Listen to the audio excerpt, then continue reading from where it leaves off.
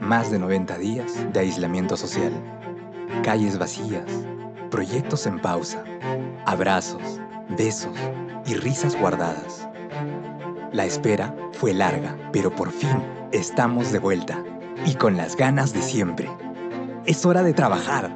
Tomemos todas las medidas necesarias para protegernos. Sigamos construyendo un mejor país. Manos a la obra. Manos a la obra. Manos a la obra. Manos a la obra. Manos a la obra. Manos a la obra. Manos a la obra.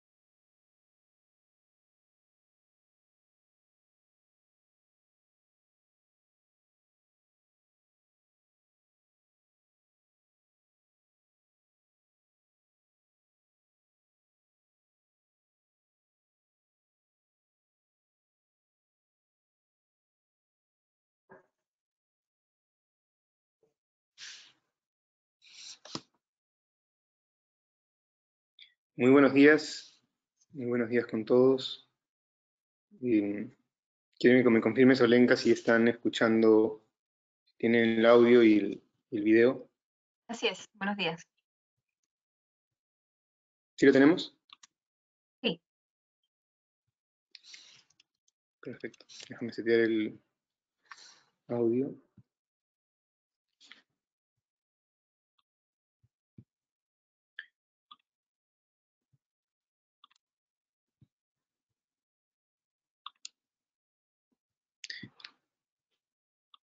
Muy buenos días, muy buenos días amigos. Vamos a esperar que se incorporen algunas otras personas. Eh, me toca darles la bienvenida a esta asamblea virtual de socios y esta conferencia de prensa en la que vamos a, a analizar cuál ha sido el desempeño de la economía en el Perú y especialmente el del sector construcción y vamos a refrescar algunas de las medidas y trabajos que hemos venido haciendo en estas semanas o en estos meses de, desde que iniciamos la cuarentena.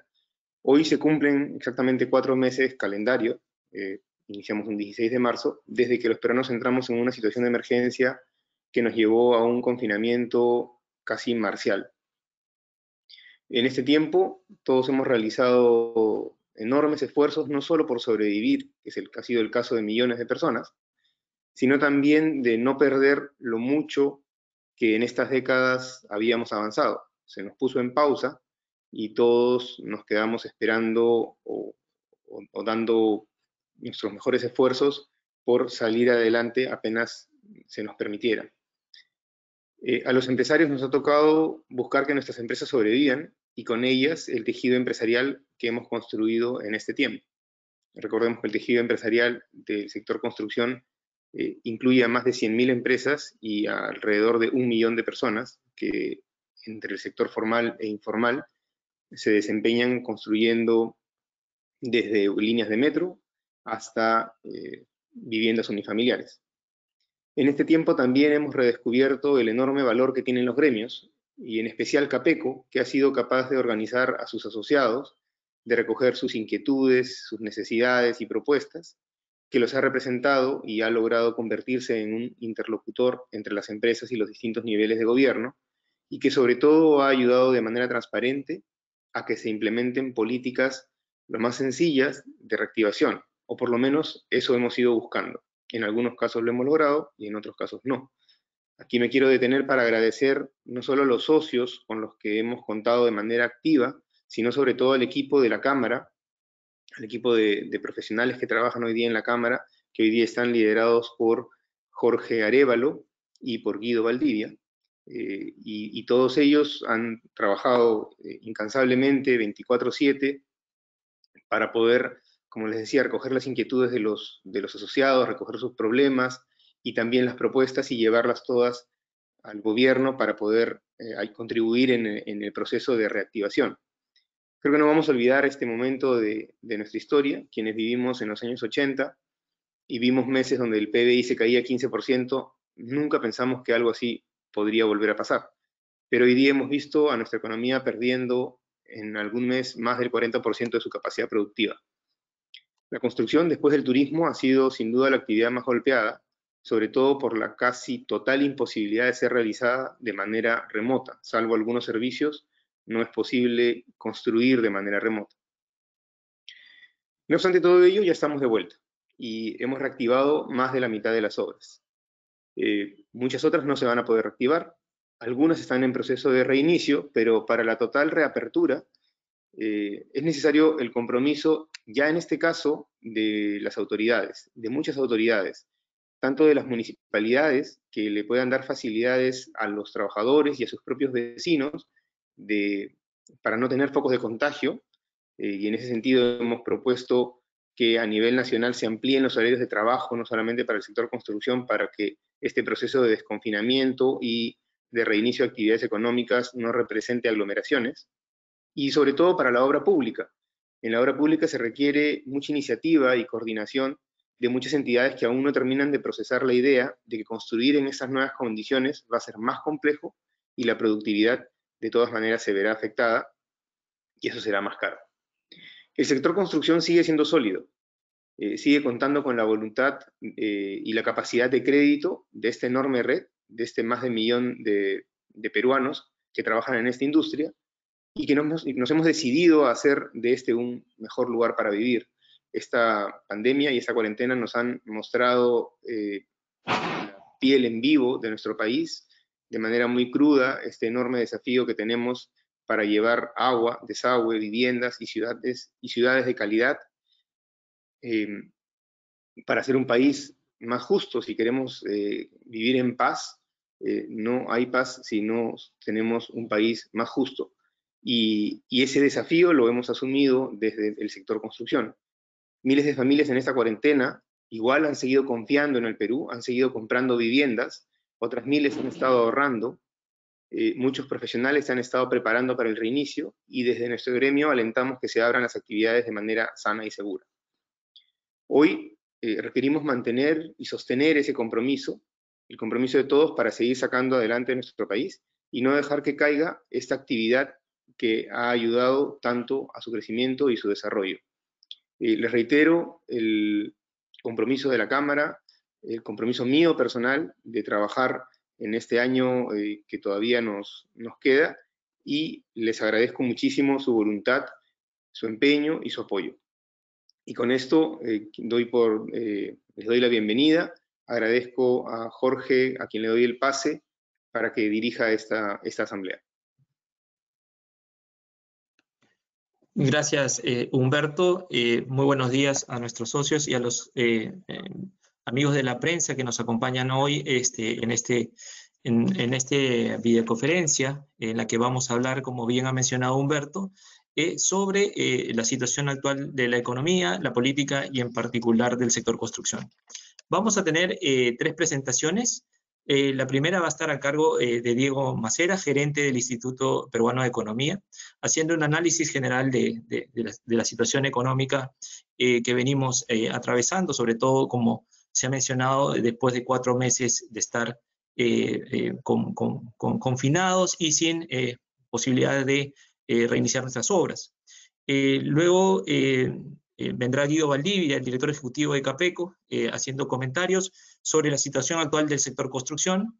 Y finalmente, eh, Augusto Tausen, junto a Sebastián Mendoza, harán una presentación con respecto a la situación política y los últimos cambios que hemos visto el día de ayer en, en los ministerios. Así que vamos a tener estas tres presentaciones, 20 minutos cada una de ellas, y eh, yo les pido a, las personas de prensa que nos acompañan en esta videoconferencia que por favor realicen sus preguntas a través eh, de, la, misma plataforma, eh, indicando el medio al que representan y su nombre, por favor.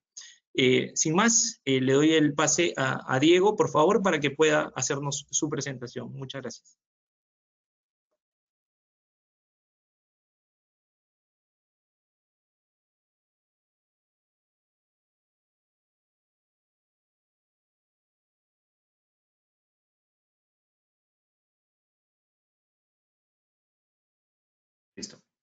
Hola, ¿qué tal? Eh, bueno, espero, que se escuche bien. Este, ¿Pueden ver mi pantalla? Diego, está, se ve la pantalla y tiene buen audio también. Perfecto, perfecto, listo. Eh, muchas gracias, buenos días. Eh, muchas gracias por la, por, la, invitación. Encantado de estar acá. Em, voy, a, voy a tener una presentación corta, unos, unos 20 minutos. Em, la idea es hablar un poco sobre, primero, empezar discutiendo el contexto eh, económico general y, e ineludiblemente también mencionar la parte de salud. Eh, y luego ya entramos en, materia a hablar de lo que ha pasado en el sector construcción y qué cosa puede venir eh, hacia adelante. Esa es un poco la, estructura. entonces, como les decía, empezamos con, con el tema de salud, porque, a ver, hay que reconocer, esa es una crisis de salud, antes que todo. Eh, el motivo por el cual se cerró la economía y tenemos los problemas hoy día que tenemos eh, es, es por un problema inicial en salud y eso creo que hay que tenerlo bien claro cuando hablamos de, oye, ¿cómo reactivamos? ¿Cómo volvemos a la actividad? Eh, va a depender pues necesariamente de cómo evolucione en nuestro manejo sanitario y, la curva de contagios. la, la, como pongo en la, la incidencia prolongada de esta enfermedad, el, honestamente el mal manejo eh, que hemos tenido eh, pone límites extra sobre nuestra posibilidad de reactivación económica. ¿no? Acá les traigo, eh, imagino que ya algunos de ustedes lo pueden haber visto, ¿no? es una estimación que hace el Financial Times para 21, 21 países. en el caso del Perú recoge la data del, del SINADEF. y, lo que, y lo que usa es lo que creo yo es la estadística eh, digamos, si hubiera que usar un solo indicador eh, para medir el, problema que tienes entre manos, eh, todos, los, indicadores tienen limitaciones y, te presentan información incompleta, pero si hubiera que agarrar uno solo que, creo que resumiera bien el, el, contexto general, es, es, este, que es el fallecimiento en exceso sobre el promedio histórico de fallecimientos durante ese mismo periodo. Y medido así, ¿no? el fallecimiento en exceso desde abril hasta julio eh, del 2020 versus cuántas personas fallecen en promedio en ese mismo periodo del año, en el, en el 18 o 19. Eh, lo que tiene es que, claro, en, el Perú aparece como el país con, de esta muestra con la mayor incidencia de, de fallecidos de hecho solamente quizá comparable con el caso de, Ecuador, eh, y quizá más preocupante que el número, el, porcentaje eh, total, eh, sea que la trayectoria no está marcadamente a la baja, como sí pareciera estar en la mayoría de países, en realidad en casi todos. hoy sí se habla de un nuevo, de un rebrote, eh, sobre todo las noticias llegan pues, de algunos países de Europa, de, Estados Unidos. Eh, la verdad es que en el Perú no, no hablaríamos estrictamente de un rebrote, sino de que eh, nunca pudimos bajar del todo el, el, pico al que llegamos en el primer brote. con lo cual, en realidad, hablar, hablar pues, de, un, de, un, rebrote o de una, o una segunda meseta de repente no es, no es exacto. ¿Ha habido algún tipo de discusión, de análisis, eh, eh, especulación eh, sobre que el virus podría no expandirse tanto en zonas de altura, ¿no? Por, sé, por presión atmosférica, por oxígeno, pero la, verdad que la data no respalda eso mucho. si vemos, estos son distritos, los hemos colocado por, por altitud, metros sobre el nivel del mar, el número de contagiados, no se ve una relación clara eh, lamentablemente pareciera que esto no, no, está respaldado con data, por lo menos en una primera, eh, con una primera mirada simple de un, un scatter como, como, el que tenemos en el cuadro. Eh, pasando ya a la parte de economía general, las estimaciones del IPE, nosotros las actualizamos cada tres meses. La última, la última fue hace ya un, un, par de meses. lo que teníamos ahí era una caída de 14-15% para este año. Eh, eh, mantenemos esa, e, ese número, tenemos, eh, estamos dentro, de hecho, del rango. el Banco Mundial habla de 12, el Banco Central también está por ahí. el, Fondo Monetario está en 14, eh, hay algunos analistas que están hablando ya pues de 15, 16, 17, incluso el rango negativo de algunos bancos está en, más cercano incluso al, al 20. ¿no? Pensamos que en realidad ya estamos pues en, a mediados de julio, ya tenemos jugado más de la mitad del partido, eh, es, más o menos claro que vamos a estar con una caída de doble dígito, eso sí es, es, casi seguro. Em, el tema es cuánto, cuánto profundizamos en este doble dígito. Eh, la pregunta en realidad más importante es cuánto vamos a rebotar hacia el 21. ¿no? Esa, es, esa es la duda fundamental. Nosotros en el IPE tenemos un escenario, eh, si quieres, comparado con otros, con, con otras proyecciones dentro del rango optimista, en el Banco Central está también con un 11, más 11 o más 12% para el 21.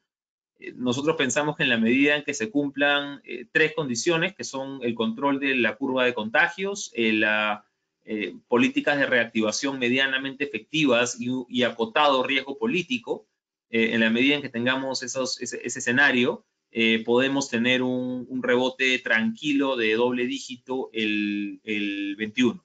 Eh, pero esos son, esos son partes de las fuentes más significativas hoy día de incertidumbre, eh, son esas tres que menciono. ¿no? la parte de salud, ¿no? ahí incluso no, no, tenemos muy claro cuál va a ser, eh, cuál es el comportamiento del, virus, ¿no? si efectivamente hay una, hay una segunda etapa, no hay una segunda etapa, hay una evolución. No, hay, un, hay un tema de efectividad de políticas públicas también, ahí entra ya la discusión sobre reactivas, sobre el, eh, suspensión perfecta, sobre permisos de operación, etcétera. Eh, eh, y la tercera es el riesgo político que vemos hoy día desde el Ejecutivo y desde el Congreso, pensando sobre todo en unas elecciones que se vienen en el, en el 2021, ¿no? Es, que no es, no es un tema menor. entrando ya a la discusión sobre el sector construcción. Eh, voy a tener, tengo tres diapositivas eh, más bien eh, generales, ¿no? Sobre un contexto, me imagino todo el mundo, todos acá ya lo conocen, pero solamente para estar todos en la misma página. Una construcción en promedio ha sido más o menos 6% del, del PDI. Ahora, es un sector que, si bien por sí solo tiene una, una contribución, como digo, de un, un 20 un poquito más, eh, tiene mucho encadenamiento con otras actividades económicas y, además es un buen termómetro de la actividad, ¿no? Si yo quiero eh, empezar a invertir, no sé, digamos, en minería o en manufactura, probablemente vaya a usar primero este, el sector construcción y además es un gran demandante de otros productos, en los encadenamientos para atrás, ¿no? de, los propios productos de manufactura, electricidad, comercio, etcétera. Entonces, el visto así no es solamente que tiene una, eh, no es solamente esta contribución del 6%, es todos los multiplicadores y encadenamientos para atrás y para adelante que tiene la, actividad. Ahora, en los últimos años no ha tenido un, desempeño eh, particularmente fuerte, eh, ¿no? con caídas fuertes en el 2015, 2016, ya a partir de ahí contribuciones en, realidad todavía acotadas en línea con me disculpan cómo cambio acá, ya, eh, en línea con mm, un movimiento de la inversión tanto pública como privada, eh, que, yo creo ha estado por, por debajo de las, de, las expectativas. Em, en, en la siguiente para un poco de tiempo. Voy a pasar a la siguiente. Listo, para entrar de una vez ya al tema de, de el impacto de la actual situación que tenemos eh, sobre el sector. Los números de, en realidad en la, gran mayoría de países, esto no es particular del Perú, eh, los números de, de la evolución del sector construcción suelen ser, suelen contraerse más en, medio pues de la pandemia y de las, y de las medidas de aislamiento social obligatorio. Suelen, suele ser un sector más golpeado que el promedio de la, de la economía. Eh, ¿Por qué? Porque muchas de las restricciones que se pusieron, digamos, para bien o para mal, eh, le, impidieron, le impidieron operar. Entonces, claro, mientras la economía se contrajo 16% en, hacia marzo, el sector se contrajo 46%. Si la economía se contrajo 40% en abril, el sector se contrajo casi 90%. Eh, y ya la última data que tenemos de, publicada ayer por el INEI es estás hablando de una contracción de, de 66% respecto de, del año pasado. Eh, es, estamos hablando entonces, es, más o menos como decir, em, eh, por lo menos en los últimos, en, los últimos dos meses evaluados, eh, abril y mayo, que a ojo de buen cubero, la construcción se contrae un poquito más del doble que, lo que, la contracción que experimenta la economía global en épocas de pandemia. Este es un, un, rule of thumb simple que se puede aplicar ahí, por lo menos con, la data de los últimos, de los últimos eh, dos meses.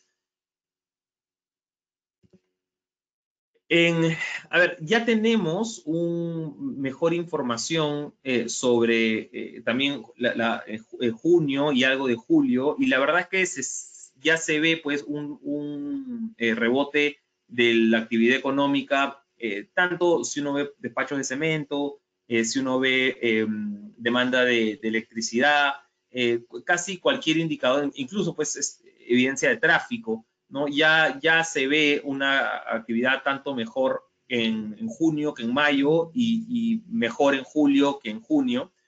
Y eso, uno, una de las, uno de los indicadores para el sector construcción es este, venda, la venta de viviendas para, para Lima metropolitana.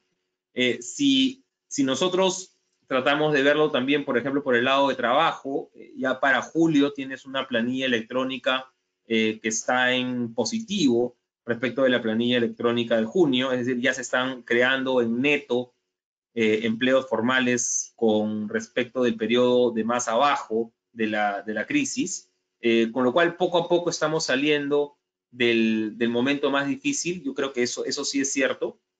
lo que nos vamos a enfrentar eh, de ahora en adelante la mayoría de negocios y, sector, y de construcción no es la, excepción, es que vamos a hacer la transición desde un problema de oferta a un problema de demanda.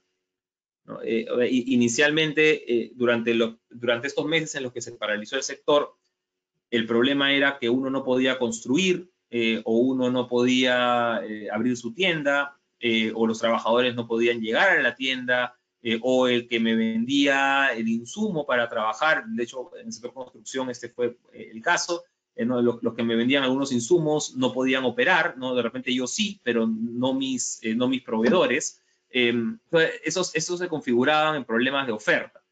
¿no? ya hacia adelante, con la economía entre comillas reactivada al 96%, como, como dicen el, el, Ministerio de Economía, lo que vamos a tener más bien es un problema de demanda, ¿no? Ya no es tanto em, que no podamos trabajar, que no podamos operar, eh, ya es, eh, empieza a ser un problema de, de quienes nos compran. Eh, y aquí empieza a pesar, hay dos factores que empiezan a pesar, em, uno de ellos es especialmente relevante en construcción. el primero es que la depresión en los ingresos de los trabajadores, vamos a hablar, vamos a ver eso un ratito más a detalle, pero la, depresión del mercado laboral obviamente pone un límite sobre cuánta plata hay en la economía para, adquirir eh, bienes y servicios. Eh, y, el otro es que a pesar de que quizá en algunas familias eh, esto se ha mantenido el nivel adquisitivo, han mantenido su trabajo, la, sensación de riesgo ha aumentado. ¿no? Entonces, para yo comprometerme a una inversión a veces de largo plazo, como puede ser una, vivienda, una, una hipoteca, eh, yo, yo necesito tener algo de seguridad eh, sobre cuáles van a ser mis propios ingresos eh. ¿no? ese, es un, ese es un tema. y el, y el que, que, es que, es particularmente importante para inversiones grandes. Em, y quizá uno, acá uno tercero que también entra a jugar es ya la expectativa de precios. E, es, este, si la gente espera eh, que las viviendas bajen o suban de precio en los siguientes meses. Entonces yo puedo tener, eh, puedo tener ingresos, puedo tener confianza sobre que voy a mantener mis ingresos, ¿no? pero si yo creo que la situación generalizada es de, es de crisis económica ¿no? y, que hacia el, y que hacia diciembre todo debería estar un poco más barato, eh, pues me aguanto. Esos son, son tres factores eh, que van a empezar a, interrelacionararse en, la, en, el dinamismo del, mercado de viviendas en, los, siguientes, en los siguientes meses. Em, el, sector, como decíamos, tuvo una, una caída, casi desapareció honestamente en abril. ¿no? Estamos, esa es una caída del 99% en despachos de, de, cemento. Eh, ¿no? Y, claro, y esto gatillado pues por una casi desaparición de tanto inversión pública como privada. E inversión pública, la verdad es que no se ha recuperado como uno quisiera. Eh, ahí hay, varios problemas eh, que incluso trascienden a la, a la, pandemia, ¿no? Esto es un tema estructural del sector público, pero sí hay expectativa que una vez se empieza a disipar el humo de esta crisis, haya una voluntad política mucho más fuerte que antes para acelerar proyectos de, construcción y de inversión pública. Eh, esto teniendo como límite no menor el, presupuesto, eh, el equilibrio presupuestal. ¿no? Vamos a cerrar el año quizá pues con un déficit 8, 9, 10% del, del PBI, eh, y hacia el próximo año ya hay que empezar a, cerrar ese espacio, ¿no? quizá algo más cercano al 5%, eh, y eso va a poner un, límite hacia cuánto podemos, eh, cuánto podemos usar gasto, inversión pública para, para reactivar la maquinaria. ahora, generalmente, insisto, el problema ha sido más de ejecución que, que de presupuesto, o sea que ahí se va a requerir voluntad política adicional eh, que ojalá con este, nuevo, con este nuevo gabinete se le pueda imprimir.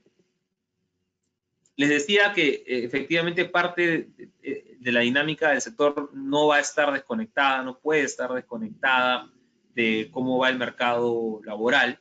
Eh, esto es solamente un zoom a la parte del, mercado laboral que tiene que ver directamente con, construcción, más golpeado, por supuesto, que el resto de sectores.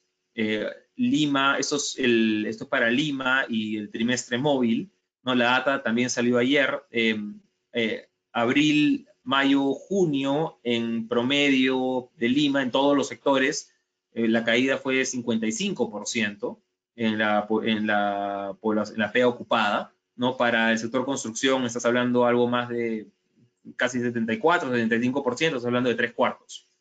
Em, esta caída es durísima. Eh, sí esperamos que tanto para el eh, tanto para empleo general en Lima como para empleo en el sector construcción, el siguiente trimestre sea mejor, ¿no? Porque ya eh, en este estás agarrando lo más duro de la crisis. Abril, mayo, junio.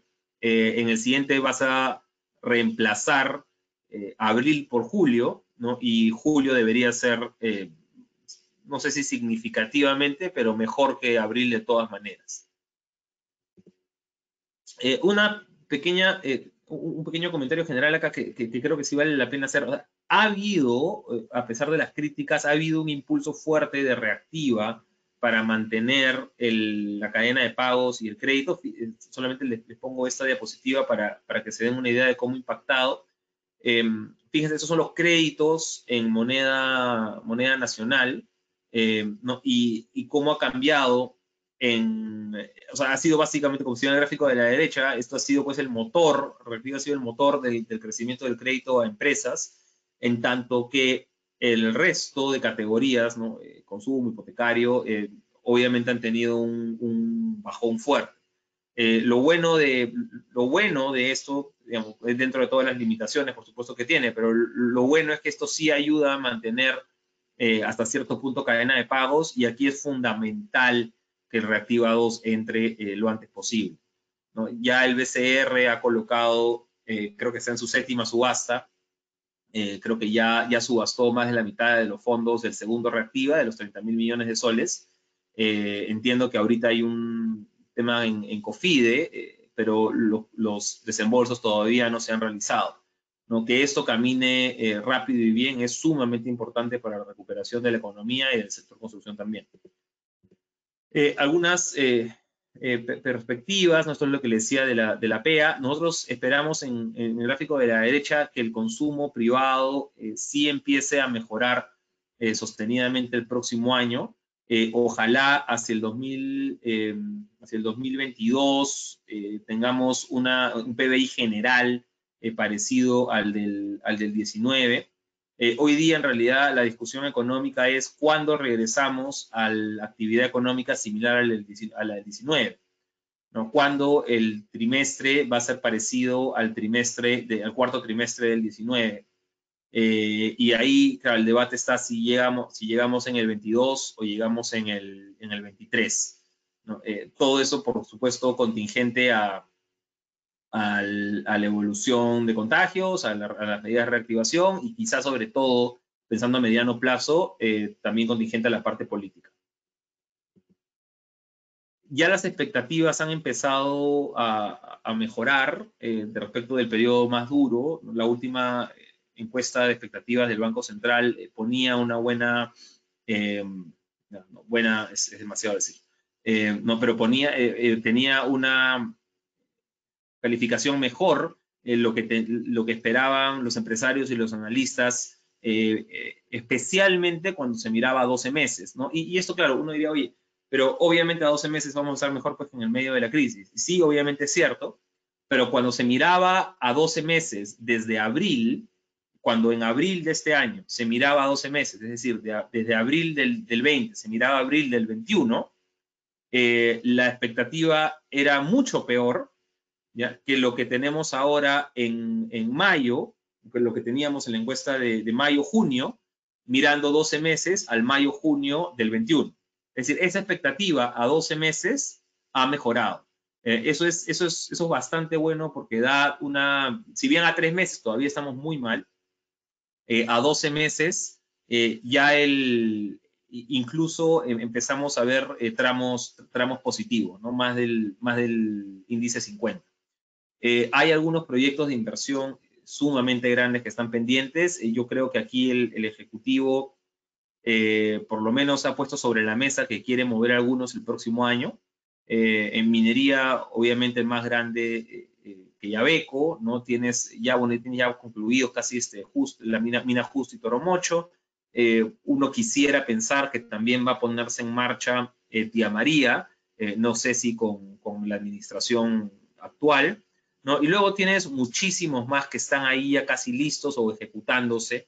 tiene, no lo hemos puesto acá, pero irrigación nomás, tienes, este, tienes Chavimochic, tienes Olmos, tienes Majes, eh, cada uno con sus problemas particulares, pero de nuevo, todos listos casi para tocar el botón y que empiecen a, tocar el botón de, el, botón de Go eh, y que empiecen a operar, que, que, empiecen, que se empiece a construir o se termine la construcción. Eh, esto, es, esto es algo que requiere hoy día, en realidad, más que todo voluntad política para sacarlos adelante, porque muchas son trabas muy solucionables. y de acá hacia lo siguiente, de repente no en el medio del incendio, no estamos todavía en medio del incendio como veíamos en la primera diapositiva, eh, pero pensando de acá ya hacia fin de año, son proyectos a los que se les debería meter muchísima, muchísima prioridad. Eh, por, visto por sectores económicos, esto es, el, esto es una proyecciones que hace el, el, Banco Central de Reserva en su reporte de, de inflación. Eh, ¿no? Lo que tenemos es que para el sector construcción es, sufre dentro de los que están considerados eh, la mayor caída en el 2020, eh, ¿no? con un 25%, pero también un buen rebote hacia el 21, no es el único que llega pues, a, a, cifras sobre el, sobre el 20%, de nuevo un poco apalancado en el rebote de inversión pública y en el rebote de, de inversión privada.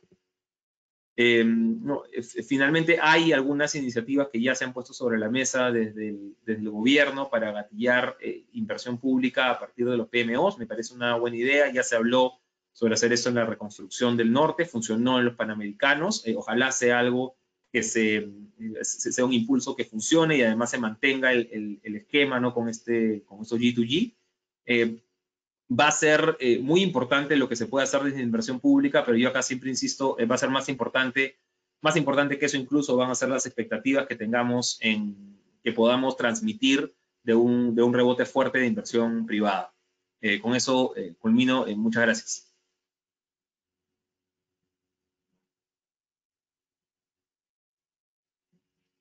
Muchas gracias, Diego, por tu, por tu presentación. siempre puntual eh, en la situación eh, eh, lo amerita, de ser claro qué, es lo que hay que ir esperando en, los próximos meses y, realmente quedamos con, todavía con un rebote, pero no, no, no, lo suficiente como, como para estar tan optimistas. Te pido por favor, Diego, que nos, acompañes para el final para, poder responder algunas preguntas de nuestros asociados y, de la prensa. y quiero dar el paso a Guido Valdivia, director ejecutivo de Capeco, para que nos dé este, su presentación y, nos muestre eh, algunas, algunas diapositivas con respecto al informe económico de la construcción. Eh, Guido, por favor.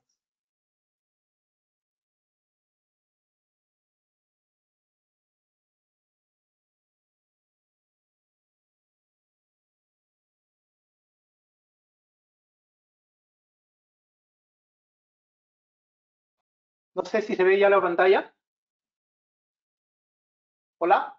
Sí, Guido, está, está eh, Perfecto, muchas gracias. Muchas gracias. Bueno, eh, em, eh, primero, em, gracias a, a Diego. En realidad,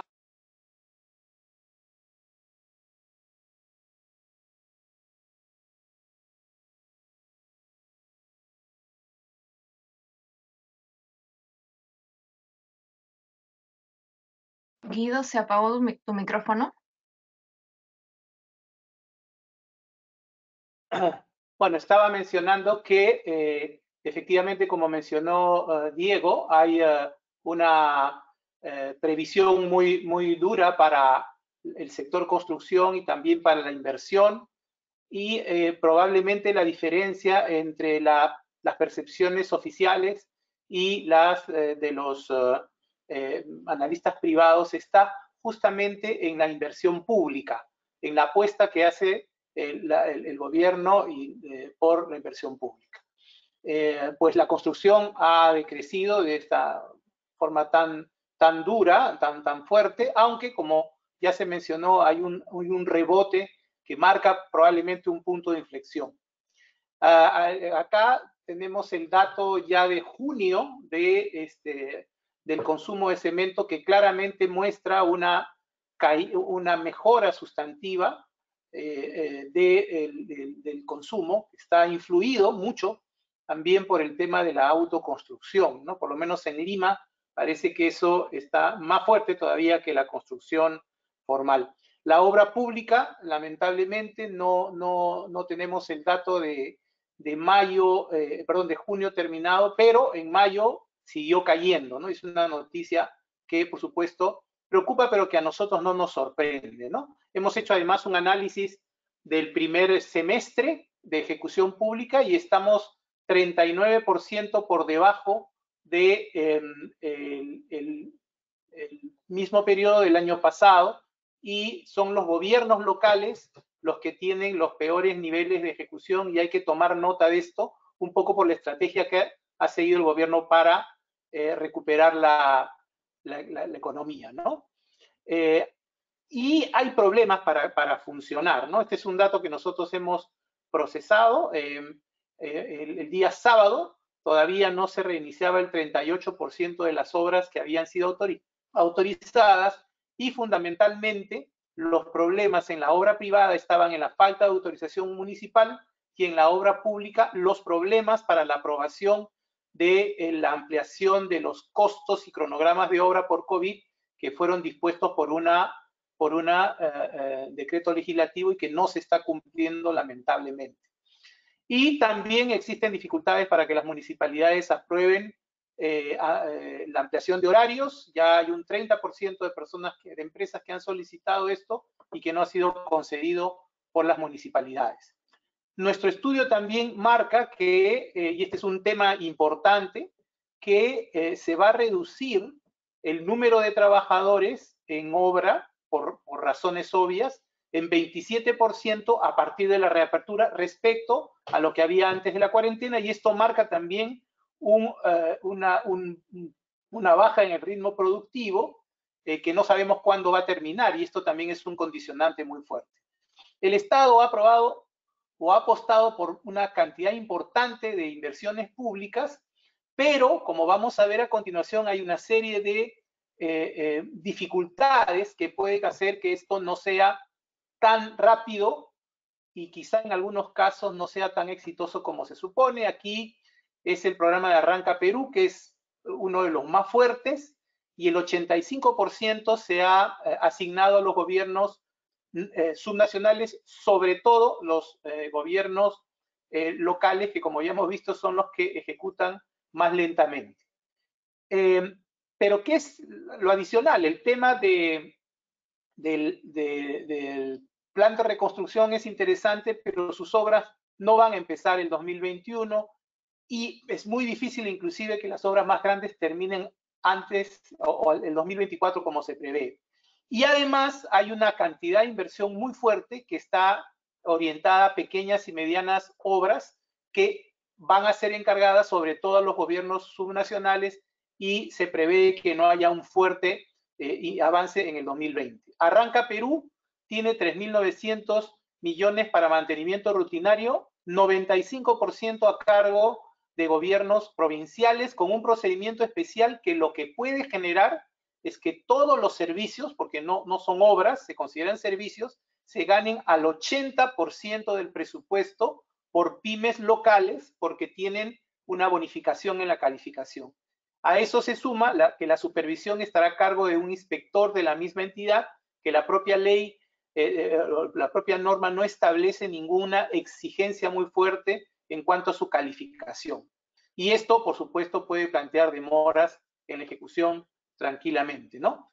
Eh, bueno, hay casos muy similares en, vivienda y en, eh, y en trabajo, pequeñas obras de un promedio de un millón, en algunos casos un poquito más en el otro, pero con las normas de contratación del Estado, y esto no va a verse reflejado en el año 2020, ¿no?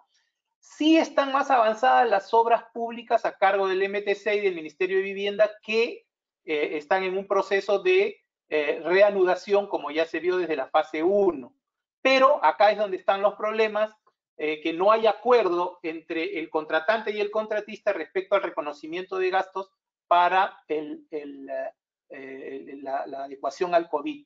Y además, algunos gobiernos locales están planteando sobre requisitos en el interior casos, por ejemplo, de que ponen en cuarentena a los trabajadores eh, a pesar de que tienen su prueba y han cumplido con el protocolo. Entonces aquí hay cosas que van a hacer que esto demore, desgraciadamente, y que eh, pues e, esta previsión oficial, por lo menos que se tiene de un crecimiento de la obra pública, por, por lo menos este año no se dé. Y continúan las dificultades para el financiamiento de los, contratistas, que es un problema que ya tenemos desde hace tiempo. Eh, este es un, dato que, ya presentó eh, Diego. Nosotros hemos calculado que en, junio todavía la, perspectiva es muy buena, ¿no? Mejor, pero todavía estamos pues bastante por debajo de lo que teníamos inmediatamente antes de la cuarentena.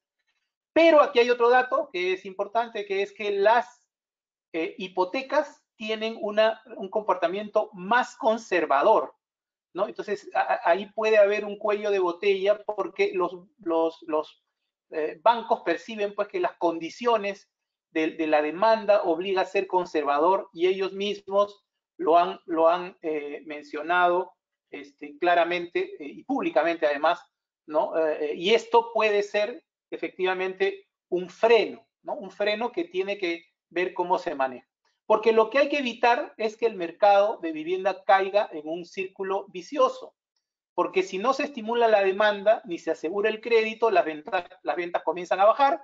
Si bajan las ventas, pueden subir los precios, eh, eh, pueden bajar los precios en, un, en un número limitado de proyectos, que son los que están más avanzados y con viviendas no vendidas, pero si la demanda no responde, los proyectos nuevos que están en planos, que es más o menos el 40% de la oferta, no, se, no, no, no empezarán y eso reducirá la oferta, presionando otra vez el alza de los precios, entrando en una espiral muy peligrosa que afectará sobre todo a las inmobiliarias más pequeñas, sobre todo las que tienen un solo proyecto, y esto puede generar además un efecto sistémico, porque si se paralizan proyectos hay una serie de eh, consecuencias adicionales. La obra privada, eh, pues, tiene algunas dificultades. Esta es una previsión de apoyo respecto a la inversión minera que iba a ser cercana a los 5 mil millones de dólares este año. No se va a poder cumplir. Los segmentos corporativos y comercial tienen un proceso de reinvención que les va a tomar algún tiempo por todos los cambios que se están dando en este momento. Techo propio, sitio propio, tiene dinero para poder em, em, digamos, colocar bonos, pero acá el problema es que estas son pymes eh, constructoras y entonces cumplir protocolos y acceder a fianzas eh, y además los problemas municipales, que en este caso son también críticos, pueden hacer que este proceso sea lento. Adquisición de vivienda nueva, la otra modalidad de techo propio, ha, recibido un financiamiento interesante y eh, em, el problema que tenemos ahí es que todavía no se ha resuelto, eh, hay un camino, el, la paralización de proyectos que están en la cartera de la financiera TFC. Esto tiene un, marco y un camino, pero estaríamos todavía con una oferta real muy, muy corta para poder cumplir las metas que plantea el gobierno. El segmento de vivienda no social tiene siempre muy poco espacio para crecer. De hecho, en los últimos tiempos la participación eh, eh, em, de, este segmento ha ido decreciendo y además aquí hay mucha venta al contado y el comportamiento eh, ahí es un poco volátil, ¿no? Porque no se sabe si la gente tiene pues una, certidumbre respecto a lo que pueda pasar para entrar a, demandar en este, en este periodo. El programa Mi Vivienda, que es el más, eh, digamos, el más grande, que concentra la, mayor cantidad de viviendas eh, a nivel nacional, pues bueno, este, eh, ah, tiene ahí una posibilidad porque había un número de familias que ya estaban, como se dice, en la tubería para acceder a programas o a la adquisición de sus, de sus viviendas, ¿no? Y el gobierno ha hecho esfuerzos para poder mejorar, nosotros creemos sinceramente que son insuficientes y por eso estamos haciendo algún planteamiento adicional. Y sabemos que las municipalidades están, eh, digamos, eh, teniendo, uh, una posición muy refractaria para ampliar horarios y también esto que venía de antes, que es municipalidades que no quieren vivienda social en sus distritos. Ya Capeco ha hecho mucho trabajo sobre esto y algo se está logrando, pero igual es un problema muy, muy fuerte. Por eso nosotros planteamos medidas urgentes muy grandes, implementar un programa estatal de crédito por 600 millones de soles hemos calculado para impulsar la generación de vivienda social. ¿no? no podemos parar los proyectos y este, si se paran los proyectos, no hay ventas, pero además la oferta futura se compromete y esto podría generar un problema. Nosotros también hemos planteado el incremento del subsidio de mi vivienda. El gobierno ya lo subió a 11.800 promedio, pero es muy poco y eso se va a ver reflejado en el tiempo.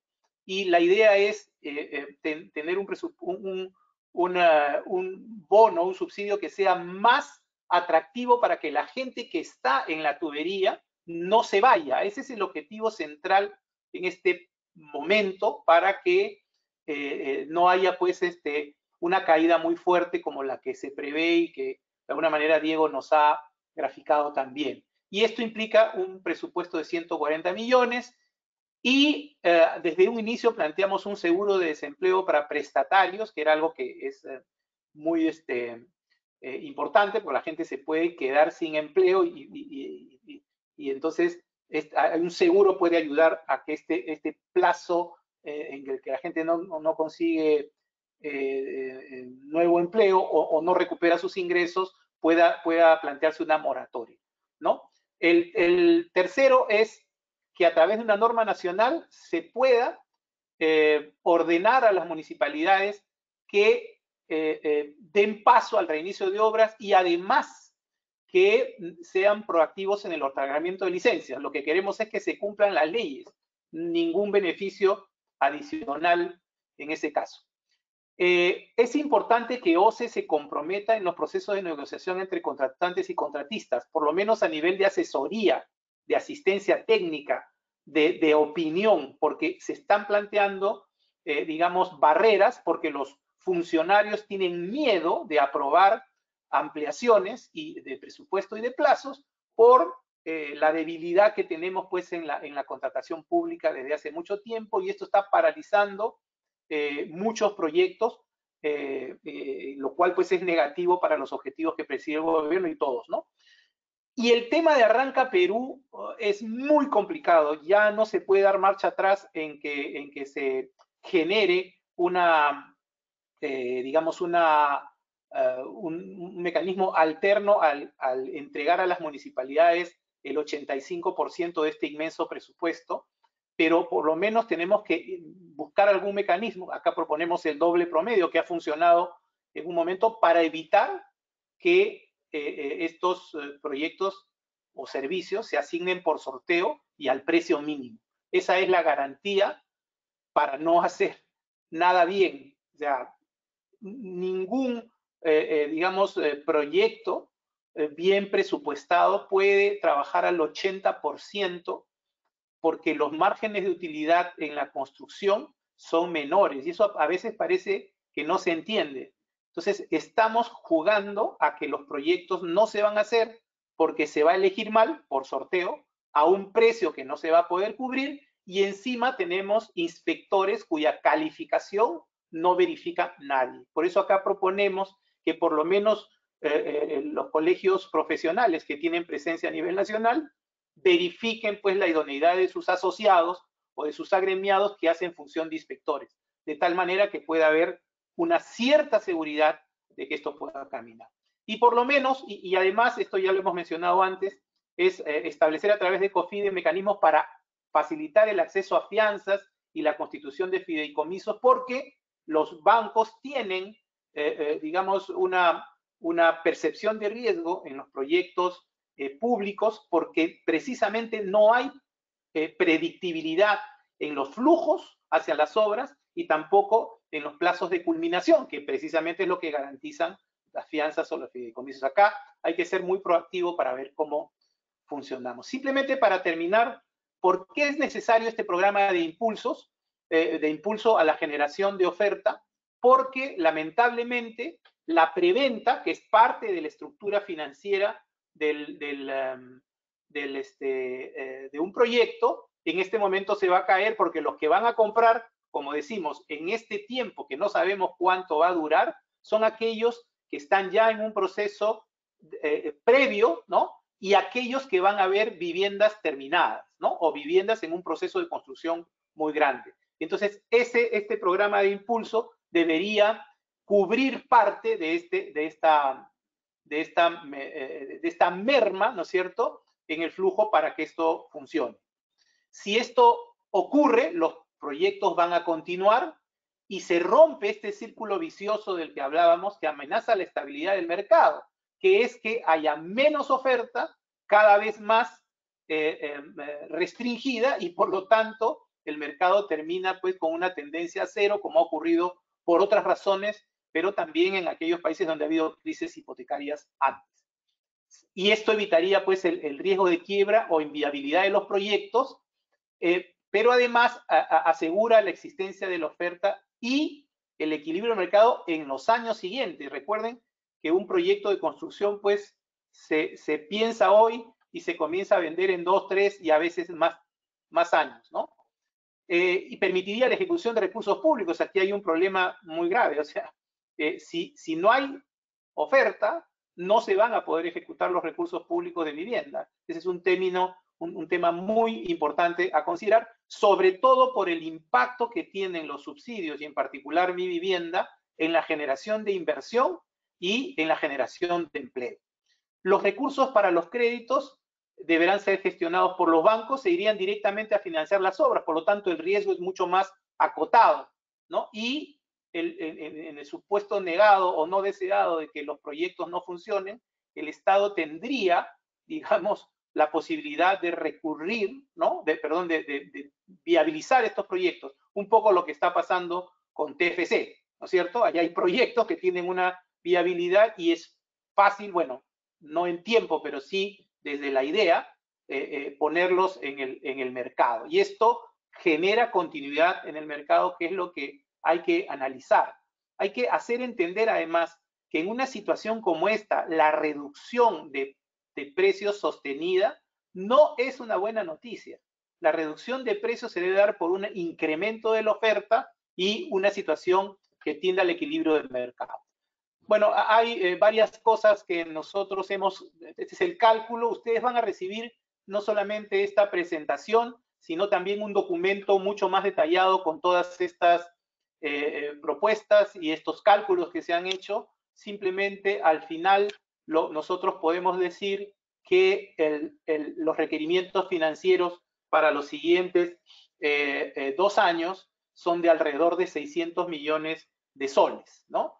Eh, que es un poco eh, la, garantía de que el mercado, sobre todo de vivienda social y en particular el de mi vivienda, eh, no paren porque son, porque ese es el segmento más dinámico y es el segmento además donde hay la mayor cantidad de oferta. Y por supuesto porque es un problema social, es un programa social. Conclusiones, pues la, la construcción podría tener una caída muy fuerte este año, aún el, 25% del BCR exigiría que en los seis meses que quedan del año, digamos, el nivel de operación de producción sea 80% más del que se ha tenido en el primer eh, semestre, para poder llegar a menos 25%, ¿no? Ese es un poco el, cálculo que hacemos ya con los datos adelantados que tenemos de junio. Eh, y esto hay que decirlo además que a esto se ha llegado por una mala percepción respecto a la seguridad eh, eh, de la construcción.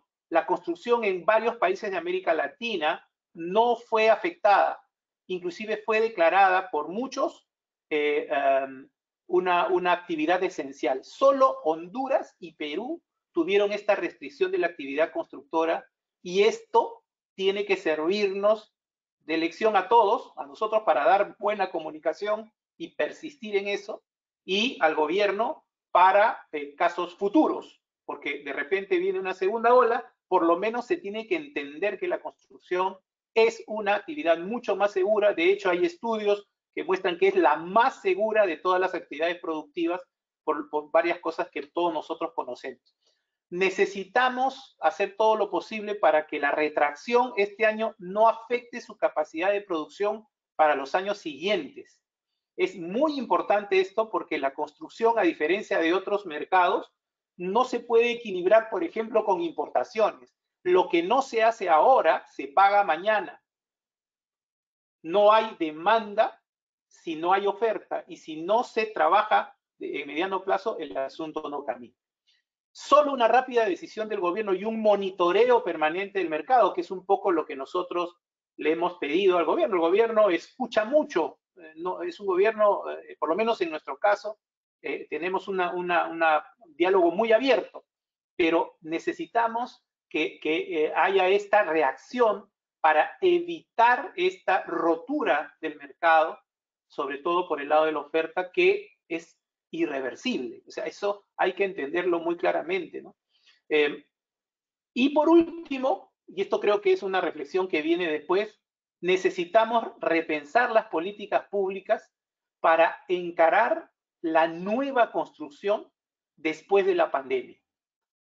Capeco hace mucho tiempo ha reflexionado sobre esto y hoy es evidente que las ciudades informales son inviables, que la informalidad y el tráfico de tierras matan y hacen daño, que la gestión pública ineficiente y permeable a la corrupción le hace daño al país. No podemos comprar eh, eh, cosas de manera oportuna, ni siquiera en emergencia, teniendo dinero. Y en la construcción, ya lo sabemos, el problema es mucho más grave. Y por último, el desafío del agua. ¿no? El, modelo de gestión del agua en el Perú es muy malo es insostenible y tiene que cambiar. Estas reflexiones son necesarias hacerlas ahora, porque después cuando pasan las cosas y volvemos a una normalidad, aunque sea una nueva normalidad, se pierde la intensidad de los problemas. Es importante y nosotros le hemos planteado al Congreso una iniciativa legislativa para atacar estos problemas de manera integral. Muchas gracias.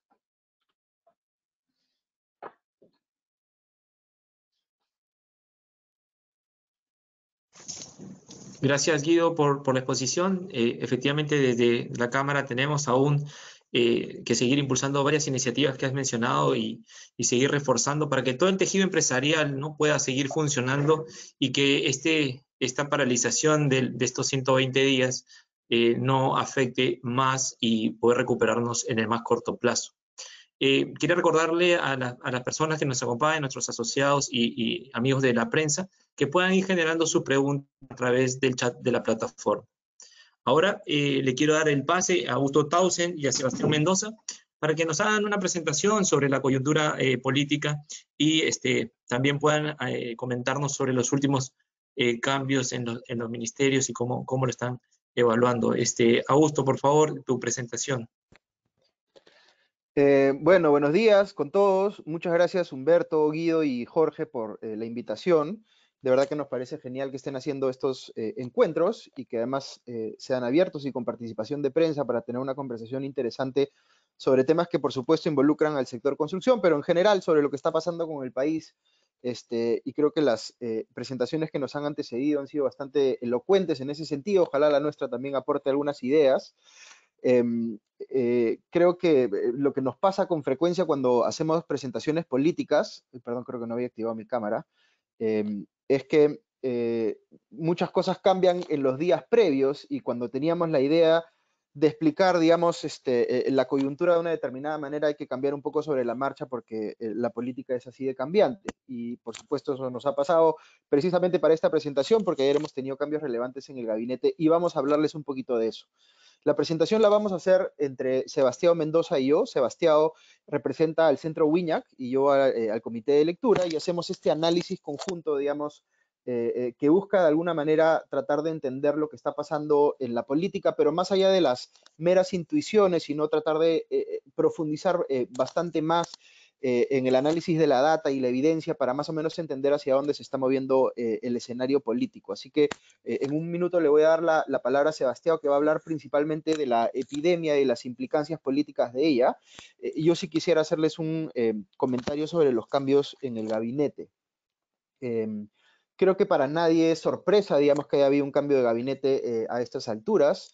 mi impresión respecto del gabinete anterior por decirlo diplomáticamente, era que no era eh, bueno, que no, estaba haciendo una eh, labor correcta.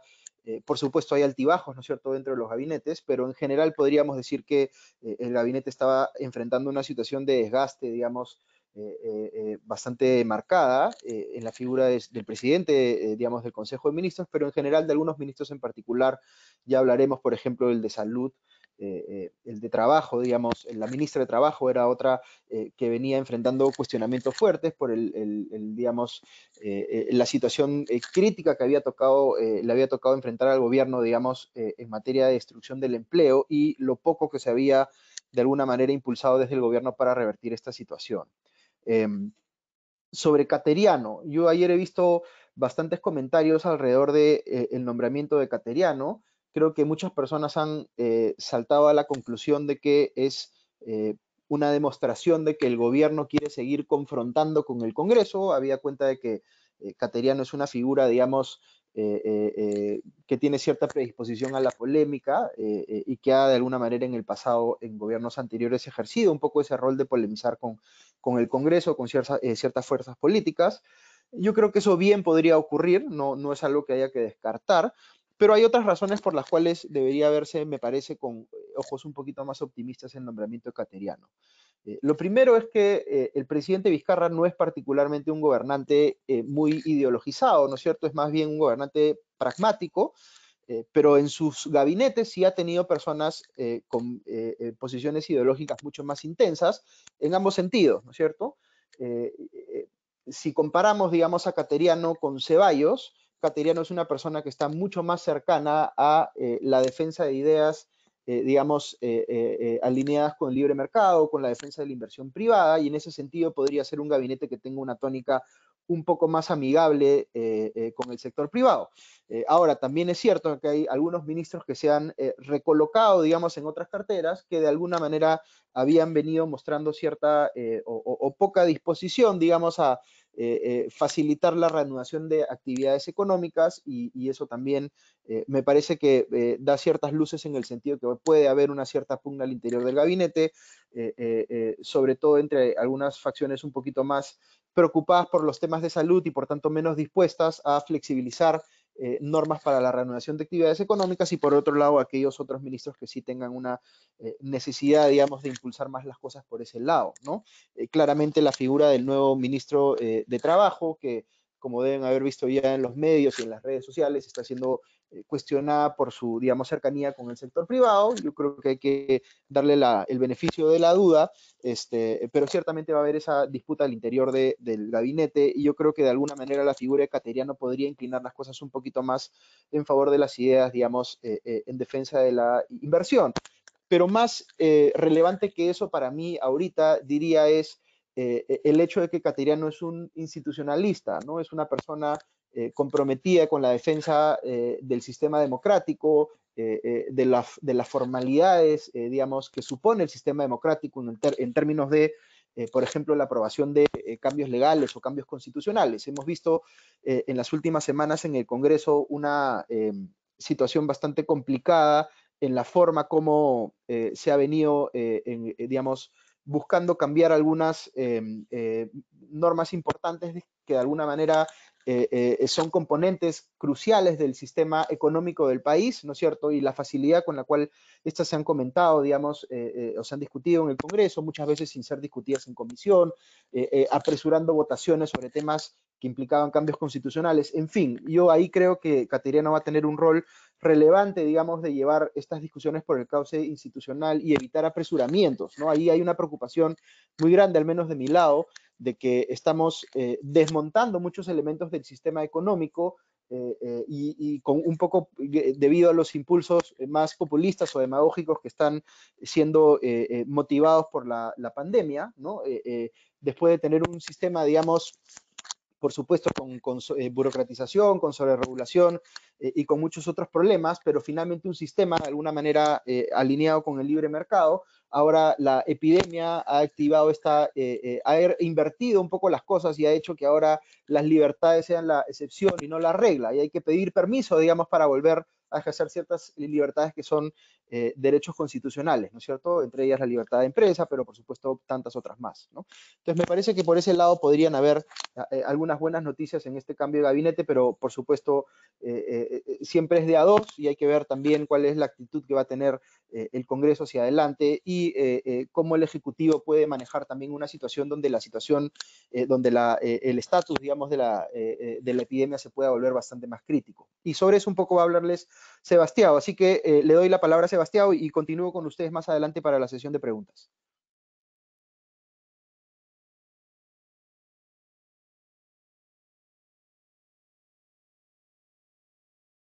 Ok, excelente. Ya.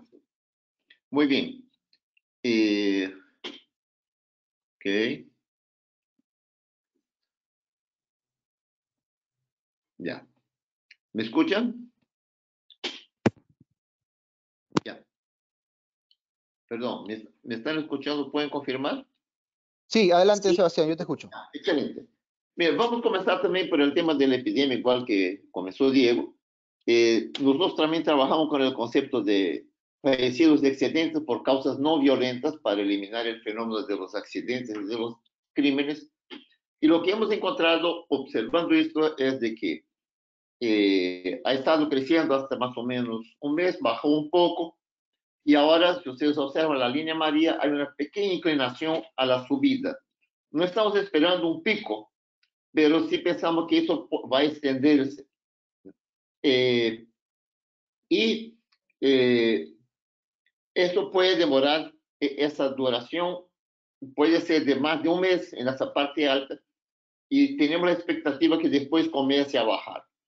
Eh, pensamos que va a comenzar a bajar por el fenómeno del, de que con las medidas de cuidados sanitarios que está tomando la población, eh, el efecto manada va a comenzar a tener su eh, impactar en la reducción. Pero pensamos que esto va a demorar varios meses todavía, no va a haber una caída abrupta. Siguiente. Ya es, esa es la evaluación que hemos encontrado ya de cómo está el Perú en comparación con sus vecinos, ¿no? Estamos entre los peores, tanto en caída de PBI, ¿no? como en fallecidos por millón. Y realmente la epidemia, el daño que está haciendo la epidemia es muy grande y es bastante más alto que en los países vecinos. Siguiente.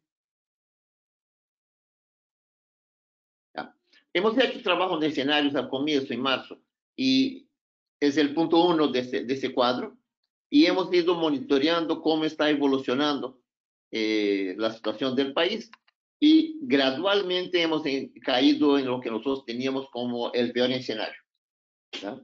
que habíamos imaginado como posible. En este escenario lo que caracteriza es de que voy a tener un impacto económico muy alto y voy a tener un impacto de salud muy alto. El problema de esta combinación es el incremento de la incertidumbre. Es lo más importante de la situación que estamos viviendo, es que la incertidumbre se está volviendo algo cada vez más difícil de estimar y por lo tanto puede haber cambios cualitativos en la sociedad que son difíciles de prever. ¿Seguimos?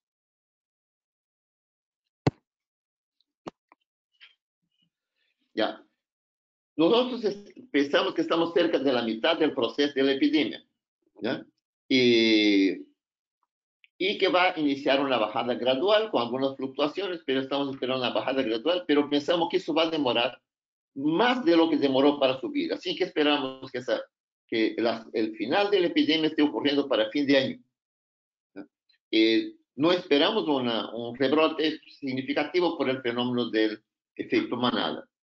Con el modelo CIR que hemos utilizado en la Universidad de Basilea, hemos encontrado que el número de muertos para fin de año va a ser superior a 60 mil. Probablemente bastante superior a 60 mil. ¿Seguimos? Ya. Este es un análisis más político. Si ustedes observan aquí, eh, la aprobación presidencial ha venido bajando en los últimos cuatro meses, ¿no? de forma bastante sistemática, después del alce que tuvo por las de cuarentena. Y a pesar de los movimientos y esfuerzos políticos que ha hecho el gobierno, no ha logrado eh, frenar esa, evitar esa caída.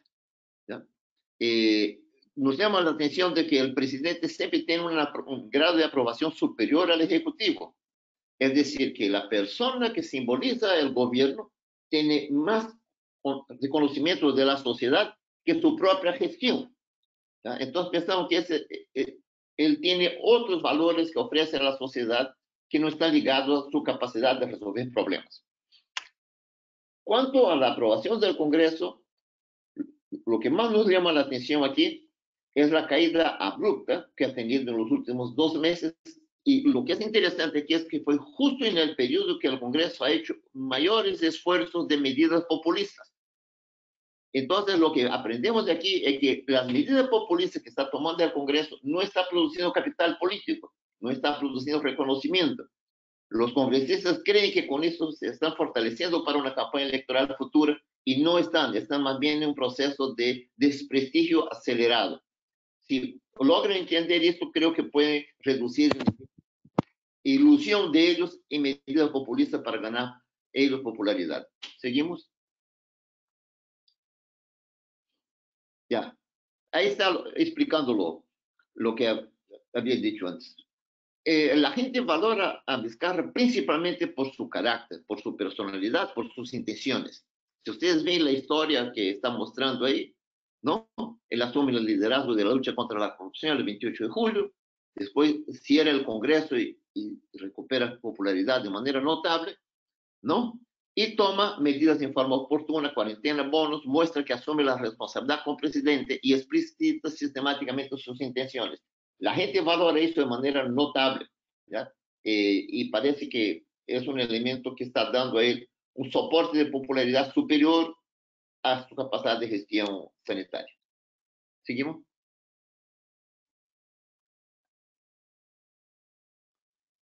hicimos focos con, la, con grupos de la población en Lima y en Iquitos. Eh, ¿Qué se ha encontrado?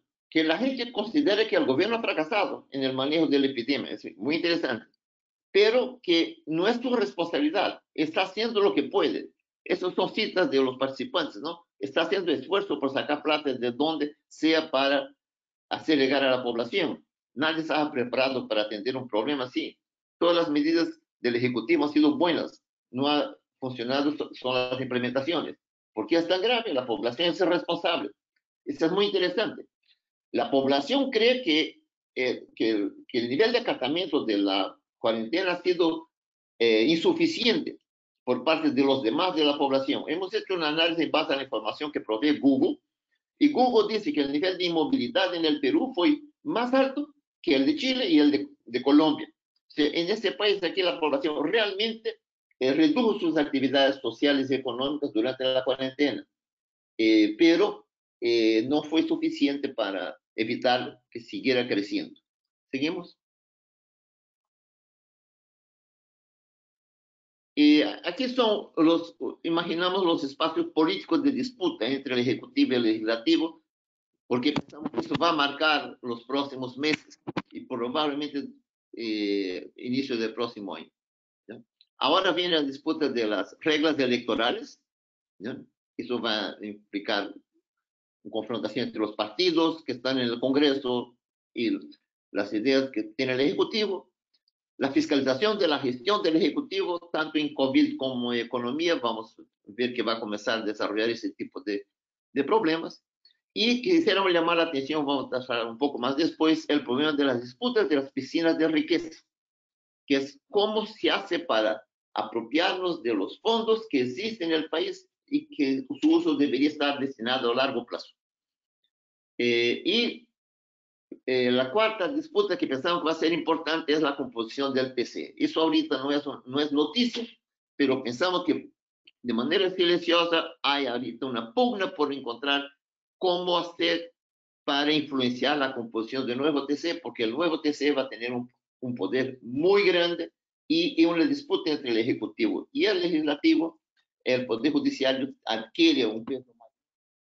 Sí, como la cumbre del Poder Judicial va a tener un gran peso, una gran importancia. Hay otros temas que yo creo que podemos tratar después. ¿Seguimos? Eh, está. E, ese es el punto que quería comentar con ustedes un poquito, que es el problema de la disputa de las piscinas de riqueza. La parálisis de la economía ha destruido los recursos de, de las empresas y de la población la recuperación de las demandas va a ser lenta, como acabó de explicar Diego. ¿ya? Va a ser muy difícil para las empresas y para la población recuperar patrimonio perdido vía la generación de riqueza. La economía no va a facilitar las condiciones que sí habían hasta marzo de este año. Y el Perú es un país de emprendedores. Entonces, lo que nosotros hemos buscado ver es cómo esto influencia el tipo de emprendedurismo. Y eh, lo que hemos encontrado es de que existen dos, dos tipos de emprendedurismo. Lo que llamamos el emprendedurismo constructivo, que se esfuerza en generar riqueza, y el emprendedurismo destructivo, que se enfoca en la disputa de las riquezas ya creadas por otros. Eh, eso puede asumir muchas formas, eh, pero en general eh, se transforma en dos modalidades principales. Uno, en medidas populistas, como el caso, por ejemplo, de la de los fondos de la AFP, que son recursos que estaban en una piscina de riqueza para disputar. Otra piscina de riqueza que algunos se imaginan es el patrimonio de las empresas privadas, que si yo eh, logro incrementar los impuestos, yo tendría acceso a esa, ese patrimonio. Y en el caso de sectores de provincia, lo que hemos encontrado es un conflictos sociales alrededor de los fondos de desarrollo que ha sido creado por las empresas mineras. Tenemos el caso de Tapacaya ahorita, que está activo el conflicto. Y pensamos también que va a haber en torno a los fondos de los canos, que su utilización eh, tiene deficiencias y la gente quiere ver cómo transforma esa liquidez para mí de manera inmediata. Eh, esto va a ser un elemento distorsionador que vamos a enfrentar en los próximos meses. Siguiente. Este es un punto interesante para entender cómo funciona el populismo. El populismo siempre busca sustentarse en una justificación ética moral de lo que está planteando. Siempre es un, un reclamo de justicia, ¿ya? Siempre es así la formulación y nosotros hemos analizado la estructura lógica de la narrativa que utilizan los populistas. El problema, por ejemplo, altos precios de los servicios médicos. Culpables o victimarios, las empresas, las clínicas privadas. La solución, control de precio, control de suministro de, eh, de insumos. ¿Ya?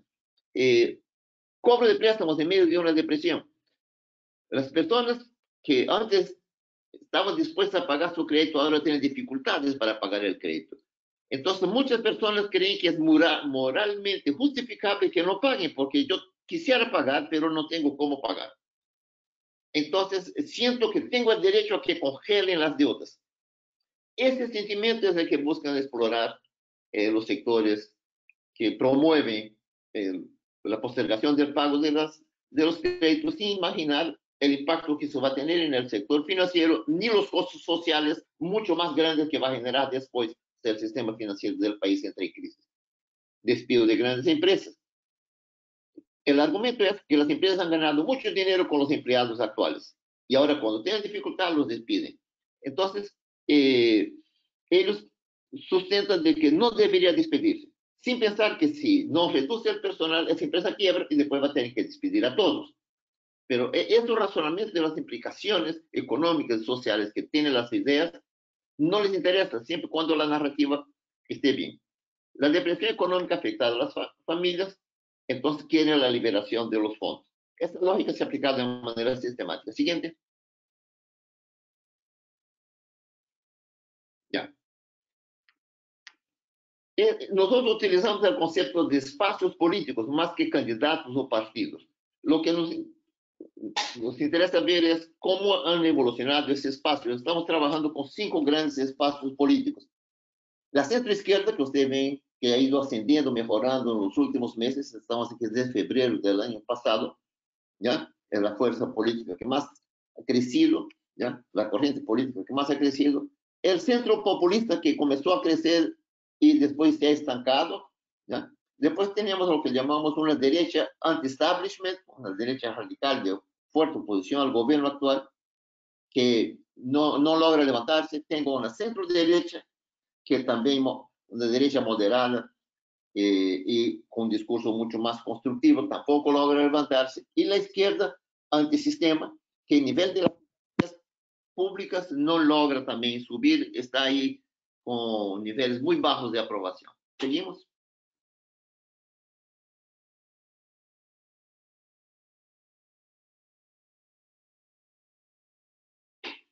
Es muy interesante esto, porque e, e, esas curvas de aprobación de las corrientes políticas no, se, eh, no refuerzan las expectativas de, de, los diversos actores de esas fuerzas políticas. Siguiente. Eh, iba, iba, a sugerir, Sebastián, que lo dejemos ahí para dejar tiempo para las preguntas, porque tenemos eh, ya poquito tiempo. No sé, Humberto o Jorge, si quieren pasar a preguntas, encantado. Excelente. Muchas gracias. Gracias, eh, eh, Augusto Sebastián, por, esta eh, presentación y el análisis de coyuntura política.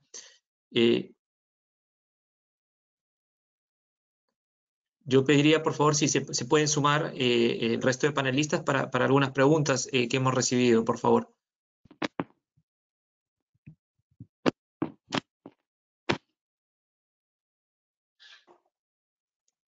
Nos falta Diego, por favor, si podrías. Ahí estamos. Eh, a ver, algunas, algunas, algunas preguntas, este, y me gustaría empezar este, por, Diego. Diego, eh, eh, mostraste algunas proyecciones de, crecimiento del sector para, para, el final de este, de este año y, digamos, algo de recuperación en el, en el, en el 2021.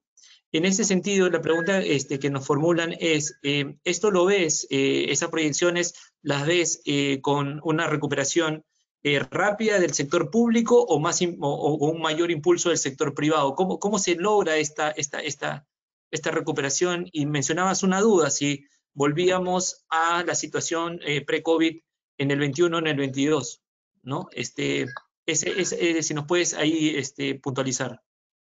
Sí, eh, a ver, en, el IPE nosotros no hacemos proyecciones sectoriales, ¿no? La que, la que hemos puesto ahí es del Banco Central. Eh, en el IPE lo que hacemos es las proyecciones por nivel de gasto, del, por la composición de gasto de PBI, ¿no? inversión pública, inversión privada, consumo público, consumo privado, exportaciones.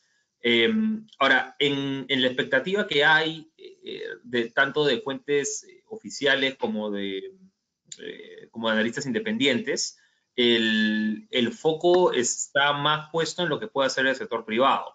Eh, ¿no? hay, hay algunos espacios ahí de, si quieres, de, de overlap ¿no? en, en APPs, eh, ¿no? que, donde tienes algunos proyectos muy grandes ya en ejecución, ¿no? trabajados por algún, por un motivo u otro, este, no sé, hay muy grande la línea 2 del metro de Lima, no estás hablando de más de 5 mil millones de dólares, es enorme. Eh, ¿no? eso, eso sí puede ser una, una palanca diferenciadora, eh, pero más allá de los proyectos estos eh, emblemáticos, creo que Guido ya lo había dicho, nosotros tampoco esperamos pues que haya una ejecución grande del Plan Nacional de Infraestructura hacia el, hacia el 21, ¿no? esto probablemente demore un rato más, con lo cual la palanca tiene que venir casi necesariamente por, la, por inversión privada. Ahora, y aquí ese es un punto importante porque eh, más allá de la parte de vivienda, eh, muchísimos de los sectores económicos eh, empiezan su periodo de inversión a partir del sector construcción.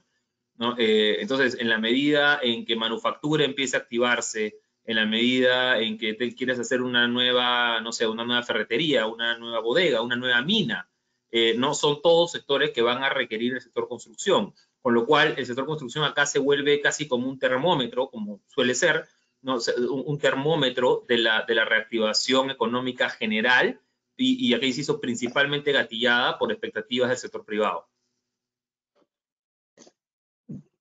De acuerdo, y, este, y en esa línea, eh, eh, eh, Augusto, tenemos algunas consultas de, de, de, algunos medios, voy a resumirla.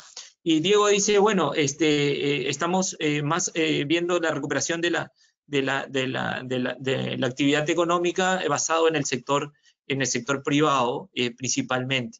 Pero este cambio de ministros y este, Augusto, ¿lo ves también con, nos mencionabas que era en la evaluación mejor que la anterior, pero ¿lo ves también con mayor posibilidad de ejecución, de mayor conocimiento del sector público como para poder este, avanzar con los proyectos de inversión? Eh, me gustaría darles buenas noticias. ¿Me escuchan, cierto? Porque creo que perdí un ratito ahí la señal, pero se me escucha, ¿no? Sí.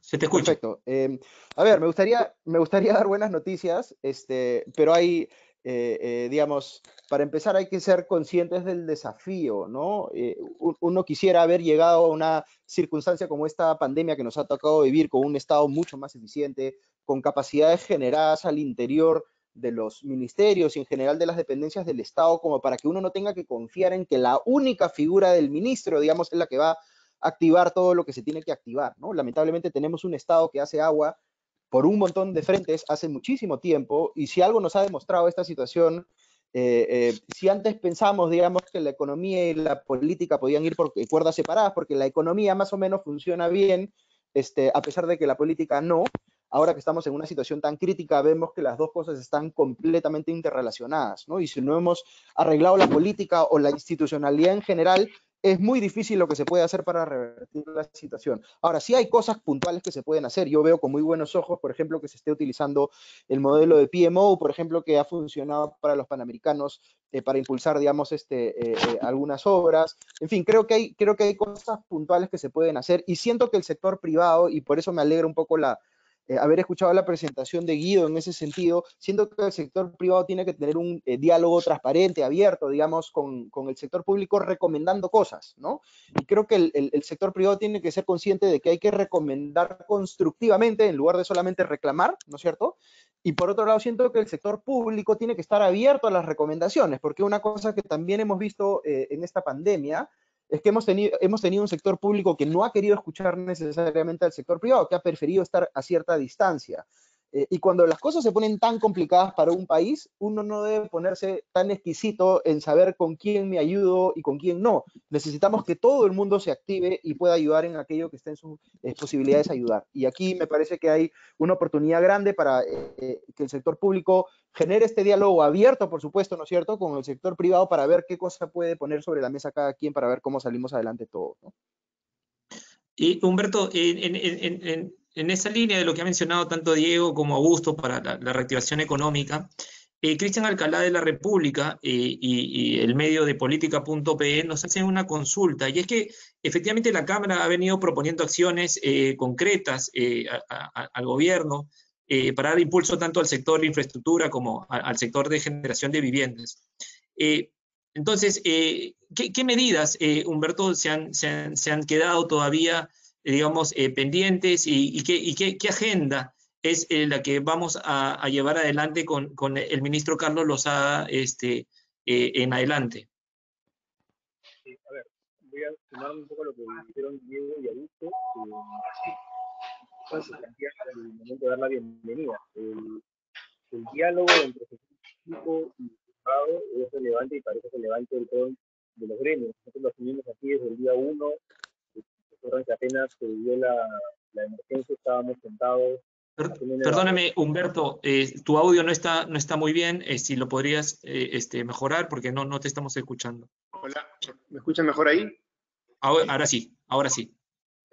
Ahora sí. Bueno, entonces me sumo a lo que decían Diego y Augusto, que es relevante que se fortalece el, diálogo entre el sector público y privado. Mucho se cuestiona este modelo económico, la forma en la que ha crecido el país, en el que la iniciativa privada ha avanzado tanto que ha ido tomando, eh, y sobre todo el sector empresarial mejor organizado, ha ido tomando posición en la provisión de bienes y servicios para los ciudadanos. Entonces, en el momento en el que llega un periodo de emergencia, es lo que tenemos y es con lo que hay que contar. Entonces, si el, si el virus se origina en un mercado, eh, lo que había que hacer no solamente era controlar los mercados, sino empezar a preguntar a quienes manejan mercados o supermercados, a los arquitectos que han estudiado desde el Colegio de Arquitectos los mercados, a los que manejan redes de restaurantes. O sea, había que contar con todo el sector privado para ver cómo se manejaban para empezar los mercados, cómo se manejaban los hospitales. Entonces, sí, en ese sentido, es, eh, creo que no hemos tenido a nivel país una buena coordinación y no hemos reconocido esa realidad. a veces se intenta eh, hacer un juego político. Eh, algunas personas decían que decir que esto es una guerra es conveniente para el discurso de todos. ¿no? En la guerra se suspenden, como estaba explicando este Sebastián, la gente no quiere pagar sus deudas, la gente no quiere este, ir al colegio, la gente, es, lo que pasa en una guerra, ¿no? Es como cuando uno es niño y, no ha hecho la tarea y dice, ojalá me enferme para no ir al colegio, para no llevar la tarea, e, es, es algo parecido. Entonces, eh, creo que, habría que enfrentar esto con adultez. Eh, en, muchos ministerios hemos encontrado esto, por suerte lo encontramos así en el ministro de Vivienda que, que ya no está, que es el, el, ministro Yáñez. Eh, lo encontramos así también en el ministro Lozada, que era ministro de, Transportes, que es que si escuchamos aperturas, así encontramos apertura y, le pudimos presentar nuestra agenda de trabajo. Eh, un poco entrando a responder la pregunta, ¿qué, fue lo, que, lo primero que presentamos? Es si esta cuarentena, tal y como esperábamos, no duraba 15 días, sino tres meses, como es lo que estaban durando en otros países, eh, lo que íbamos a tener es un golpe en el empleo y un golpe en el ingreso de las familias y eso significaba que iban a necesitar mayor, mayores subsidios. Entonces presentamos un estudio y una propuesta de subsidios y eso fue eh, parcialmente tomado por el ministerio, por el gobierno y como explicó Guido, se incrementaron los subsidios. Pero a continuación también encontramos que mucha gente no iba a poder comprar vivienda y que se necesitaba un programa de estímulo a la oferta.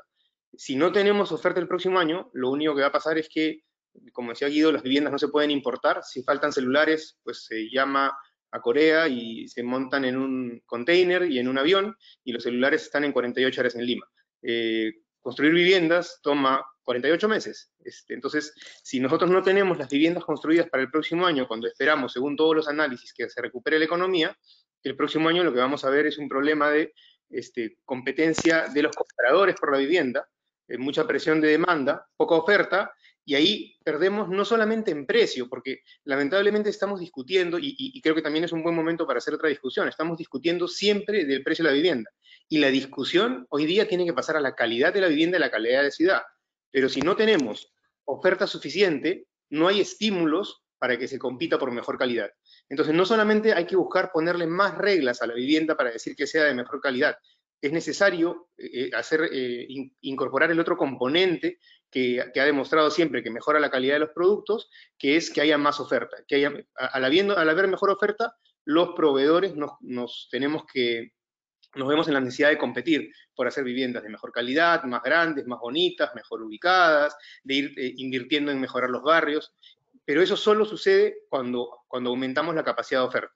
Por eso hemos concentrado el, segundo paquete de medidas en esto, en que, en que se mejore la producción de vivienda, ya sea con estímulos, con programas de estímulos que en realidad dentro de los paquetes de estímulos que se están dando no son tan grandes, eh, no son subsidios, en realidad son líneas de financiamiento que luego se devuelven, y lo segundo es en que se permita eh, que se permita construir. Por eso también hemos pedido, tanto para las obras públicas como para las obras privadas, y esa es parte de la agenda pendiente con el, con el nuevo ministro, es que nos ayude a que en, todos los distritos se puedan ampliar los horarios de trabajo para que se eviten las concentraciones, para que se puedan recuperar, ojalá, algunos tiempos perdidos, y para que los trabajadores de construcción, que como explicaba Guido, eh, gozan de, buenas medidas de seguridad y de salud que, hemos ido alcanzando en estos años por acuerdos colectivos con ellos, eh, no, se ven, no se vean afectados.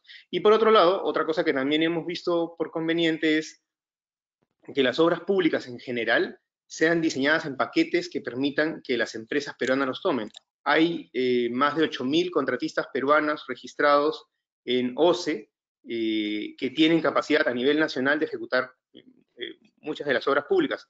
Tender una tubería de desagüe no es una obra de alta ingeniería, lo es hacer una línea de metro, entonces tiene sentido traer una compañía este, española, una compañía italiana, francesa, que son expertas en hacerlo, pero hay, muchísimos tipos de obras como ejecutar colegios, ejecutar centros de salud, eh, locales municipales, pistas, veredas. Hay muchísimas obras que se pueden hacer con contratistas nacionales, que se han hecho históricamente con contratistas nacionales y que tienen, y, las medidas de reactivación no solamente implican que se ejecuten las obras, sino diseñarlas de modo que los contratistas locales que tenemos las puedan ejecutar.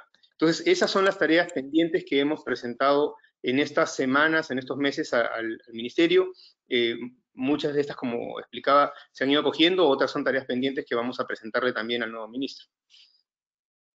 Gracias. Eh, eh, Guido, hay una pregunta que, recojo de Cristian Alcalá de la República y Yosimar Cóndor de Gestión con respecto a las colocaciones y a la venta de viviendas para este, para este 2020. Y quiero sumar que había una, había una perspectiva a inicios de años de mejorar en colocaciones de vivienda social que ya había sido buena en el 2019 para este 2020. Entonces, ¿Cómo, cómo, se, ¿Cómo se percibe el cierre o la proyección de cierre de año en, cuanto a venta de viviendas y, en particular la vivienda social? Bueno, en el caso de la vivienda social, eh, depende mucho de que se implementen estas medidas que ha reseñado Humberto y que también yo había mencionado. Eh, nosotros teníamos la perspectiva de que no se iba a crecer lo que se suponía, que sí iba a ser un excelente año para la vivienda social, pero aspirábamos a que la colocación esté en alrededor de lo que se había hecho anteriormente, ¿no? Unas 12.000, 13.000 viviendas en mi vivienda y una cantidad un poquito menor en el caso de techo propio vivienda nueva, porque sabemos que sitio propio tiene este, una, una dinámica distinta, ¿no? Eh, ahora a lo que estamos aspirando a que, la caída no sea tan fuerte. Tampoco creemos que se vaya a cumplir la meta de las 10.500 operaciones que planea el gobierno, eh, pero eh, lo cierto es que con lo que tenemos ahora estamos a la mitad, digamos, ¿no? En, ritmo, ¿no?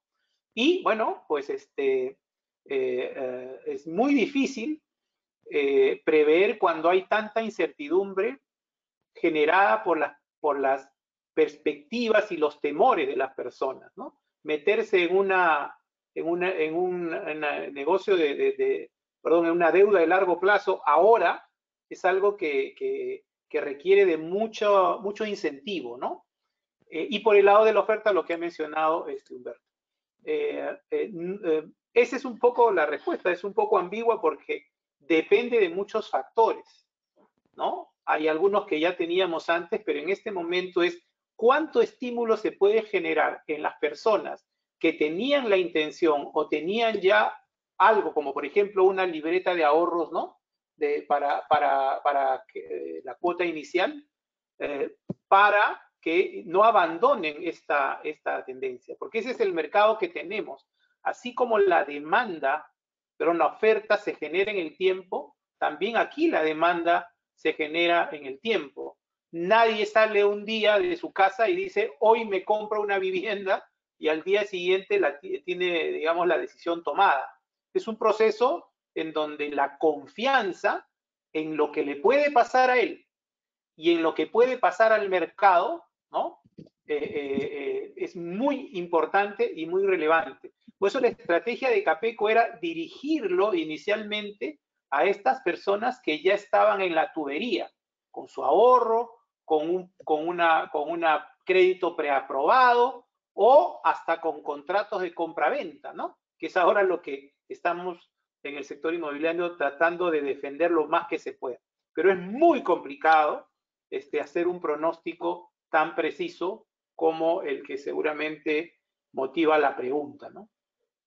Guido, y, en esa, este, con ese panorama, eh, eh, habías mostrado eh, algunas cifras de los estados de los proyectos, un nivel en preventas, otro nivel en fase de construcción y algunos por terminar.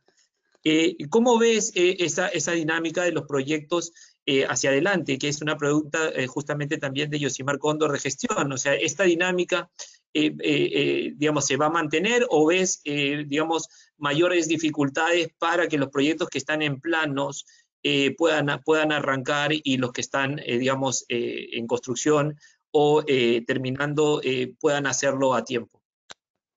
Bueno, primero creo que tenemos que, que, trabajar aquellos temas que sí son controlables, ¿no? Por ejemplo, las municipalidades, ¿no? Si las municipalidades no dan autorizaciones o quitan autorizaciones eh, o, se genera pues todo un problema para, para, eh, para trabajar pues en, las vías, ¿no? Este, por supuesto la oferta no va a funcionar y los, que, los proyectos se van a quedar en plan. Eso hay que resolverlo y ahí el gobierno nacional tiene una tarea muy fuerte y ya algo se está haciendo eh, con nosotros, inclusive con, con, con la asociación de municipalidades. Hay 300 municipalidades urbanas en el Perú en donde se puede desarrollar un proyecto inmobiliario. Entonces es mucho, pues, ¿no? Entonces es un, es un ejército de, de, de, gente cuya arma, pues, es poner barreras, ¿no? O sea, es, como la guerra de trincheras del, del, de, la, Primera Guerra Mundial, o sea, ese es su, su arte. Y ahí tenemos que actuar muy rápidamente, ¿no? Pero el otro tema es igual un tema de confianza, de percepción. Si yo veo que la demanda no funciona y tengo un proyecto en planos, lo que voy a hacer es esperar ¿no? Eh, eh, esperar a que más o menos pueda tener una referencia de cómo esto camina. Por eso, por el lado de la oferta, nuestra idea era que los, y esa es la esencia del, del programa de impulso a la generación de vivienda, es que esta oferta no pare. El que ya tiene un proceso constructivo no pare porque, porque no va a encontrar ahora la respuesta que tenía antes. 25% de las ventas se hacían eh, por preventa, ese porcentaje va a bajar. Igual que el 20% de las ventas que se hacían en el mercado no social al contado. Eso también tiene un nivel de incertidumbre muy fuerte y es cuestión de generar confianza. Y generar confianza implica mecanismos especiales, específicos, ¿no? Cuando una tienda por departamentos tiene un problema de stock, lo que hace es una barata, es, una, es un sale, ¿no es cierto? Y, y, pues, los porcentajes pues son altísimos. Esa idea, pues, ojalá, ojalá en ese porcentaje no creo que logremos eso, pero por lo menos pensar en que eso funcione. Y ahí sí se arma un círculo virtuoso que nos puede paulatinamente primero hacer recuperar el ritmo, no va a ser sencillo, pero sobre todo garantizar el mercado de mediano plazo. Si la gente en algún momento no comienza a ahorrar, ¿no es cierto?, para sus, para sus programas de, de, crédito, ¿no? este famoso programas de ahorro casa, eh, eh, obviamente no, no vamos a tener demanda en el próximo año, ¿no? Eso es lo que hay que entender, creo, y creo que el Estado tiene instrumentos a una escala muy apropiada, eh, Humberto lo ha dicho, ¿no? No son grandes cifras, pero además, por lo menos en el lado de la oferta, hay una mejor garantía del repago de esas operaciones. Gracias, Guido. Eh, Augusto, eh, lo, había comentado este, Humberto, esta, coordinación que se ha podido tener con autoridades eh, como el ministro este, de Vivienda anterior, Rodolfo Yáñez, o como el propio ministro este, de Transportes, que ahora ha pasado a la cartera de viviendas.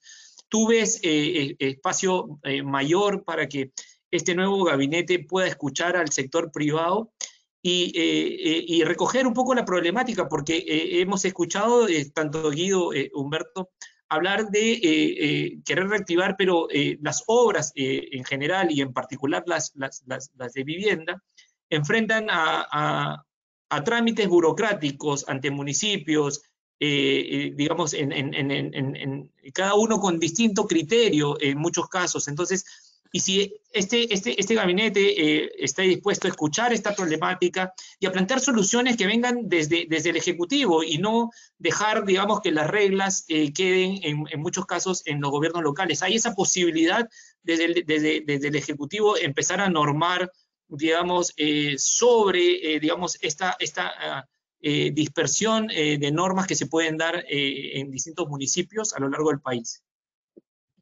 Em, yo creo que algunas cosas se pueden hacer, pero, pero veo que el escenario no necesariamente es el más conducente a eso por varias razones, porque primero que esta... digamos, disposición tan presente en el Perú a sobre regular y crear trámites y demás, está como que en retropropulsión, digamos, debido a la, pandemia, ¿no? Si antes teníamos este excesivo controlismo, ahora eh, eso está multiplicado quién sabe por cuánto, ¿no? Entonces, es bien difícil porque muchas cosas pueden estar en, cabeza del ministro del ramo, pero de ahí a que eso termine convirtiéndose en cambios regulatorios, este, eh, eh, es, más complejo, ¿no? Entonces, me gustaría pensar que puede haber un esfuerzo serio de parte del Estado por eh, eh, eh, liberalizar, digamos, un montón de requerimientos que son excesivos o, trámites que no hace sentido tener, pero lamentablemente políticamente lo veo complicado a estas, a estas alturas, ¿no? Ahora, sí sería bueno, sin duda, tener una, un impulso desde arriba que marque la pauta en ese sentido, ¿no? O sea, si, si se convierte en una narrativa de este gobierno, eh, poner en el centro, digamos, la necesidad de impulsar la reactivación económica, que no necesariamente es una narrativa que ha estado, digamos, tan presente en el discurso del gobierno hasta el día de hoy, ¿no es cierto? Si esa narrativa toma más fuerza, entonces debiera eso ayudar a que las cosas caminen más eh, eh, a nivel de ministerios y gobiernos este, subnacionales y demás, ¿no? A mí lo que me preocupa y me ha preocupado un poco hasta, hasta el día de hoy es esta necesidad de eh, generar una confrontación no solamente entre Ejecutivo y Congreso, sino entre gobierno y sector privado, ¿no? Como si el sector privado eh, eh, fuese una suerte de, enemigo este, o, actor, digamos, que está desconectado del interés público o algo por el estilo, cuando debería ser al revés, ¿no? para, el, para el Estado peruano hoy, independientemente de quién esté en el gobierno, es clave recuperar la economía para, por tanto, recuperar también la recaudación, ¿no es cierto? Eh, eh, eh, y, tener mucho cuidado con las finanzas públicas. Ahí creo que Diego puede opinar bastante mejor que yo, pero ciertamente la cantidad de gasto que se está teniendo que hacer hoy por la, circunstancia que nos ha tocado vivir, este, gracias al buen trabajo que se hizo hacia atrás, es que podemos tener hoy cierta holgura para hacer esas inversiones, pero tampoco podemos entrar a una dinámica en la cual nos quedemos, digamos, con una, un tesoro público, digamos, enflaquecido y haya sin capacidad de asumir eh, eh, eh, situaciones complicadas hacia adelante, ¿no? Tenemos que recuperar la recaudación también ahí y eso pasa por incentivar la inversión, reactivar la economía, en fin, cosas que, se han conversado bastante aquí, ¿no? Y, gracias, Augusto. Diego, y justamente tomando lo, último que mencionaba Augusto, ¿no? Hay, un presupuesto, digamos que de, inversión pública para, este año que se ha visto postergado en su ejecución, producto también de la paralización, este, y, comentabas en la intervención anterior que también eh, había, más, había mayor predisposición a impulsar la economía a través de la inversión privada. En esa línea, ¿cómo ves el espacio eh, de las finanzas públicas eh, viendo que no se va a ejecutar la totalidad de este, de este, presupuesto y de generar incentivos o mecanismos que puedan incentivar efectivamente la demanda, porque recordemos que en la presentación nos hablabas que esta, esta problemática eh, de, que se generó en la pandemia, producto de cerrar la producción, por lo tanto un problema de oferta, se va a transferir ahora a un problema de demanda. Y Humberto y Guido mencionaban eso, ¿no? Este, los proyectos pueden quedar parados o podrían no arrancar si es que la demanda no tiene, digamos, una respuesta. Entonces, eh, resumiendo la pregunta es, ¿hay espacio fiscal para eh, pasar recursos que no se van a ejecutar de las obras públicas hacia incentivos del sector privado en general y en particular, como, como, como menciona eh, Guido y Humberto, para, para fomentar la adquisición de viviendas? A ver, eh, el, espacio fiscal, el, Perú empezó esta pandemia con un espacio fiscal mejor que el que cualquier país de la región, quizá con excepción de Chile, eh, pero el espacio fiscal tampoco es infinito. Eh, ¿no? ya hay una, ¿no? ya hubo algunos avisos iniciales, ¿no? Este downgrade este, de Fitch hace, hace, un tiempo, y probablemente vamos a terminar con una, o sea, nosotros partimos con una deuda pública más o menos de 26, 27% del PIB Em, antes de la pandemia. Vamos a terminar probablemente con una deuda pública más cercana pues al 34% del, del, PIB y la expectativa es tratar de eh, regresar ese número por debajo de los 30, del 30% del PIB, que es el corte, eh, en los siguientes años. ¿no? Con lo cual, eh, ahorita, hoy el enfoque obviamente de gasto público pues está muy puesto en, en la mayor parte de gasto fiscal propiamente dicho, eh, ha ido a la parte de bonos, ¿no? a los bonos para, para la ayuda a las familias. Em, no, otra parte que, digamos, es una manera de contabilizarlo que, que, puede este, ser eh, controversial, pero cuando el, MEF habla pues de este paquete de 12% del PBI al comienzo y luego eh, de 17%, de esos varios puntos son Reactiva Perú, ¿no? Eh, son 30 mil millones de soles, 4 puntos del PIB la primera parte, 4 puntos del PIB la segunda, y tienes 8%. Em, y en realidad eh, está contabilizando ahí también el retiro de la CTS, el retiro de los ahorros de, las AFPs, que no, no son estrictamente gasto fiscal ni de cerca, es, es, ahorro privado. ¿no? Entonces, cuando hablamos propiamente de gasto fiscal, de verdad el número, el número se hace eh, mucho más chico. ¿ya? Ahora, aún así, el, eh, probablemente el déficit vaya a estar, como decía, pues en, de repente no 10%, pero vaya a acercarse a un, a un 10%, y esos son niveles pues, que no teníamos desde los 80. Eh, ahí va a haber que pensar, yo quiero muy, con, mucho detalle cuáles son los proyectos que más vale la pena eh, impulsar y dónde podemos meterle las balas. Yo honestamente no soy fan de, de la manera en que ha quedado Arranca Perú. Eh, ¿no? Yo creo que si vamos a meter esa cantidad de plata, eh, pudimos haberla orientado un poco mejor al cierre de brechas.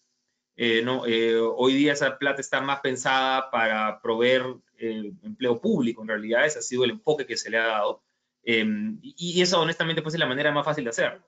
¿no? no yo, yo, yo, ahí tengo, además, mira, honestamente, yo incluso creo que se podría pensar en si de verdad queremos gastar esa, no me acuerdo cuánto eran, como 6 mil millones de soles, creo, casi un punto del PIB, em, en, en, estos empleos públicos que, que, no son realmente para cerrar brechas, yo incluso hubiera podido preferir, oye, ¿por qué no hacemos esto en bonos bien hechos y dejamos a la gente el tiempo para que pueda encontrar un trabajo realmente productivo y mientras tanto le damos, eh, le damos los ingresos adicionales que necesitan? Eh, no, pero lo que estamos haciendo ahorita es sacándolos del mercado laboral productivo eh, poniéndolos en un, en un, empleo que realmente, de nuevo, no, no ayuda tanto en rentabilidad social, eh, lo sacamos de ahí y, y, cuando acaba el, este empleo subsidiado, ¿qué hacen?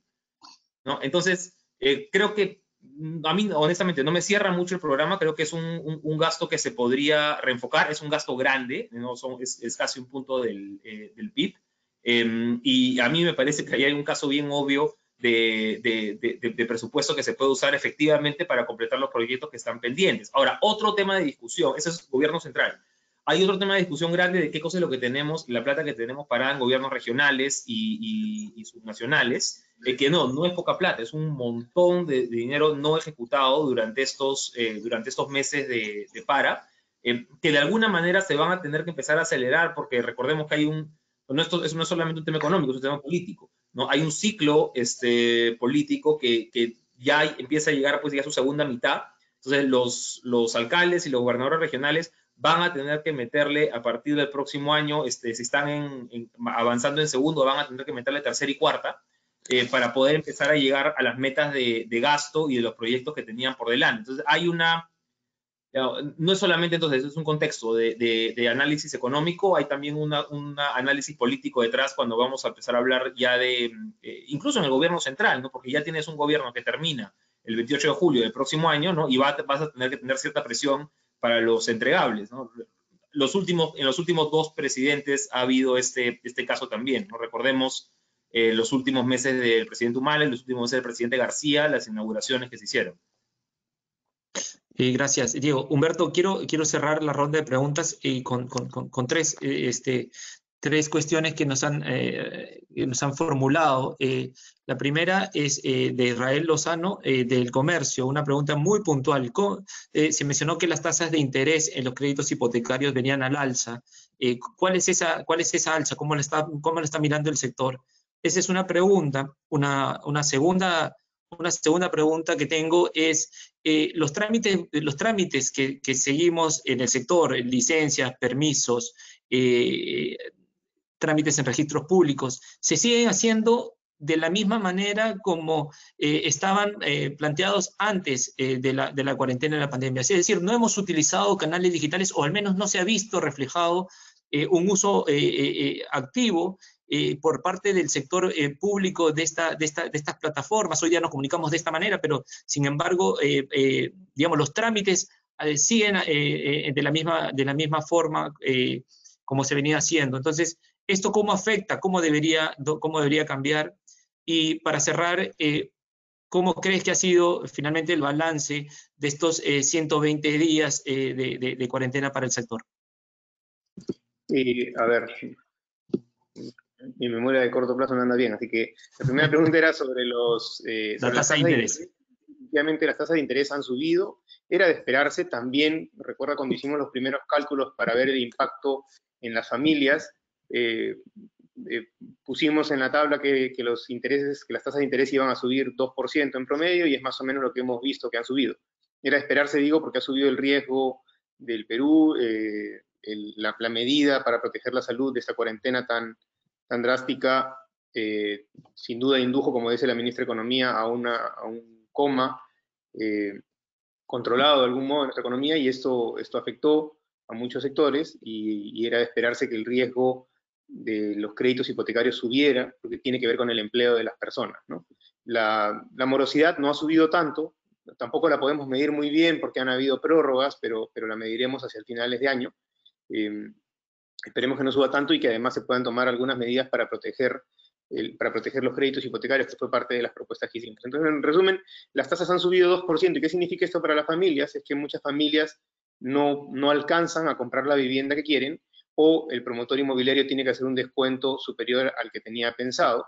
Y estas dos cosas están sucediendo, ¿no? Como, como mostraron los cuadros de, Diego y de Guido, las ventas, aunque se han, se han producido, lo que muestra una dinámica eh, y una confianza de los peruanos en la economía, eh, aunque se han producido las ventas, han sido mucho menores, eh, y eso tiene que ver con que al subir las tasas de los créditos hipotecarios la gente ya no alcanza necesariamente la vivienda que quería, que quería comprar y entonces decide postergar la, la compra.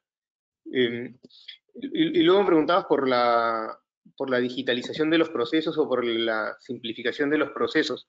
Eh, si hay una oportunidad ahora en, el Perú, creo que es para simplificar y para reconocer que nuestro problema principal histórico es el empleo, es la, manera en la que nosotros como país logramos repartir oportunidades. La gente no viene a las grandes ciudades eh, a ser pobre, la gente viene, la, gente en general no es tonta, o sea, las personas que vienen a Lima, que van a Chimbote, que ha crecido tanto, o Arequipa, no van, no van por tontos, la gente va porque va persiguiendo las oportunidades. De eso se trata una ciudad. Una ciudad es una concentración de oportunidades. Históricamente las ciudades han sido más complejas.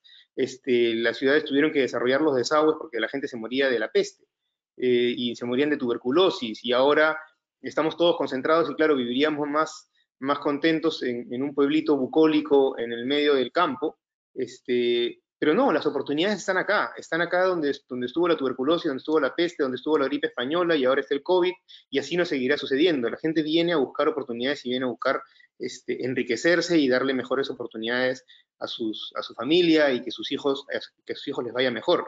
Entonces el problema en general de un país, además tan urbano como el Perú, es el empleo. El problema del transporte público muchas veces lo vemos como un problema holandés, ¿no? De a ver si ponemos tranvía, cuántas ciclovías. De hecho, hay, algo que es llamativo y, este, y, también un poco triste, es que eh, la ATU ha reinventado la bicicleta. O sea, un, aparato que tiene 200 años funcionando, que se produce por millones en el mundo entero, nos hemos tomado un buen tiempo en rediseñar una bicicleta, este, cuando el mercado ya la ofrece, ¿no? y las ofrece en cantidades industriales, las ofrece eléctricas, con motorcito de gasolina, eh, con cambios, sin cambios, para niños, para hombres, para mujeres, nos hemos dedicado a eso. Entonces, eh, creo que no estamos viendo la, la, necesidad de simplificar el país. Nos hemos pasado 50 años intentando formalizarlo y tal vez haya que transitar en el camino contrario. Es, ¿por qué no nos acercamos a aquello que la gente ha reconocido como, como más, eh, más cercano o más posible que es eh, rediseñar procesos para que, las, para que las empresas puedan eh, emplear a más personas sin tantas trabas, para que las empresas puedan, por ejemplo, eh, obtener sus autorizaciones sin tantos problemas, y más aún ahora que no tenemos los recursos digitales ni tenemos la capacidad en, en, el país para poder em, gestionar gestionar nuestras actividades y nuestra relación con el aparato público, que ya era difícil antes de la cuarentena. La Defensoría del Pueblo sacó un reporte que se habían emitido en los 90 días, en los primeros 90 días, 1.200 normas. Y esto representaba algo así como leer 295 páginas por día. Si un empresario quería cumplir con la totalidad de las normas que habían en el país, si un empresario tenía operaciones en distintas partes del Perú, tenía que dedicar el día entero a leer y no terminaba. Este, y, además eh, las normas las iban cambiando, entonces cuando el MINSA sacó la 239, tú ya estabas aprendiendo de la 239 y no la habías terminado de leer y sacaron la 244, y entonces después sacaron la, 280, la 267, y luego la 289 corregía todas. Entonces, eh, como, como, bien decía Augusto, ¿no? aquello que era básico, que era la libertad para poder emprender, operar y trabajar, hoy día se pervirtió y, y se llevó al extremo en el que para poder hacer aquello que es básico tienes que pedir permiso. Eh, si hay que aprovechar la oportunidad ahora es para recuperar estos millones de empleos que se han perdido. Eh, y aquí sí tengo que decir que, tenemos mucha esperanza en que el, nuevo gabinete y sobre todo el, el trabajo pueda eh, fortalecerse. Tenemos mucha confianza en que, el nuevo gabinete, y ayer lo dijo el, el primer ministro, reconozca el valor del emprendimiento privado, desde el más pequeñito, desde el que tiene un triciclo para mover cosas en un mercado, hasta la, el, gran centro comercial, que se pueda reconocer esa capacidad que ha tenido para sostener el país en esta pandemia. Eh, se nos ha muerto muchísima gente, hemos perdido mucho de la economía, pero la gente sigue teniendo confianza, sigue teniendo optimismo, los peruanos han sabido salir, o hemos sabido salir, esto suena como una verdad de perogrullo, pero hemos sabido salir siempre de procesos muy complejos, este es un país súper difícil, este, te diría que casi balcanizado, no tiene mucho que ver un piurano con un cusqueño, pero estamos todos juntos empujando el mismo barco. Este, y aquí entonces un poco respondiendo a, esa pregunta, eh, creo, sí creo que tenemos la oportunidad de poder simplificar mucho nuestras reglas para recuperar el empleo,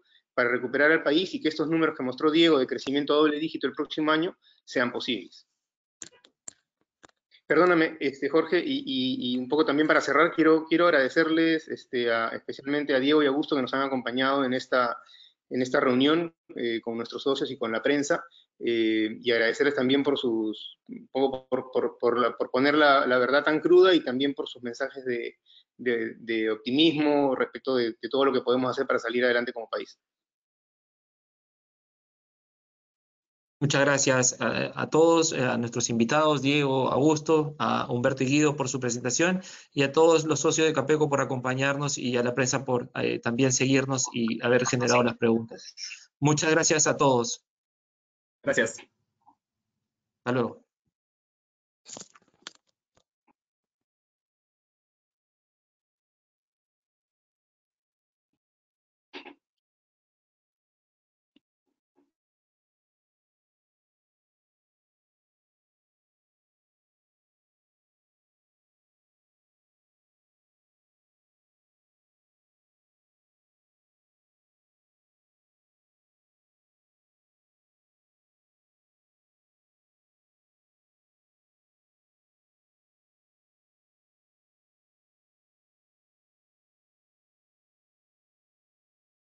Más de 90 días de aislamiento social.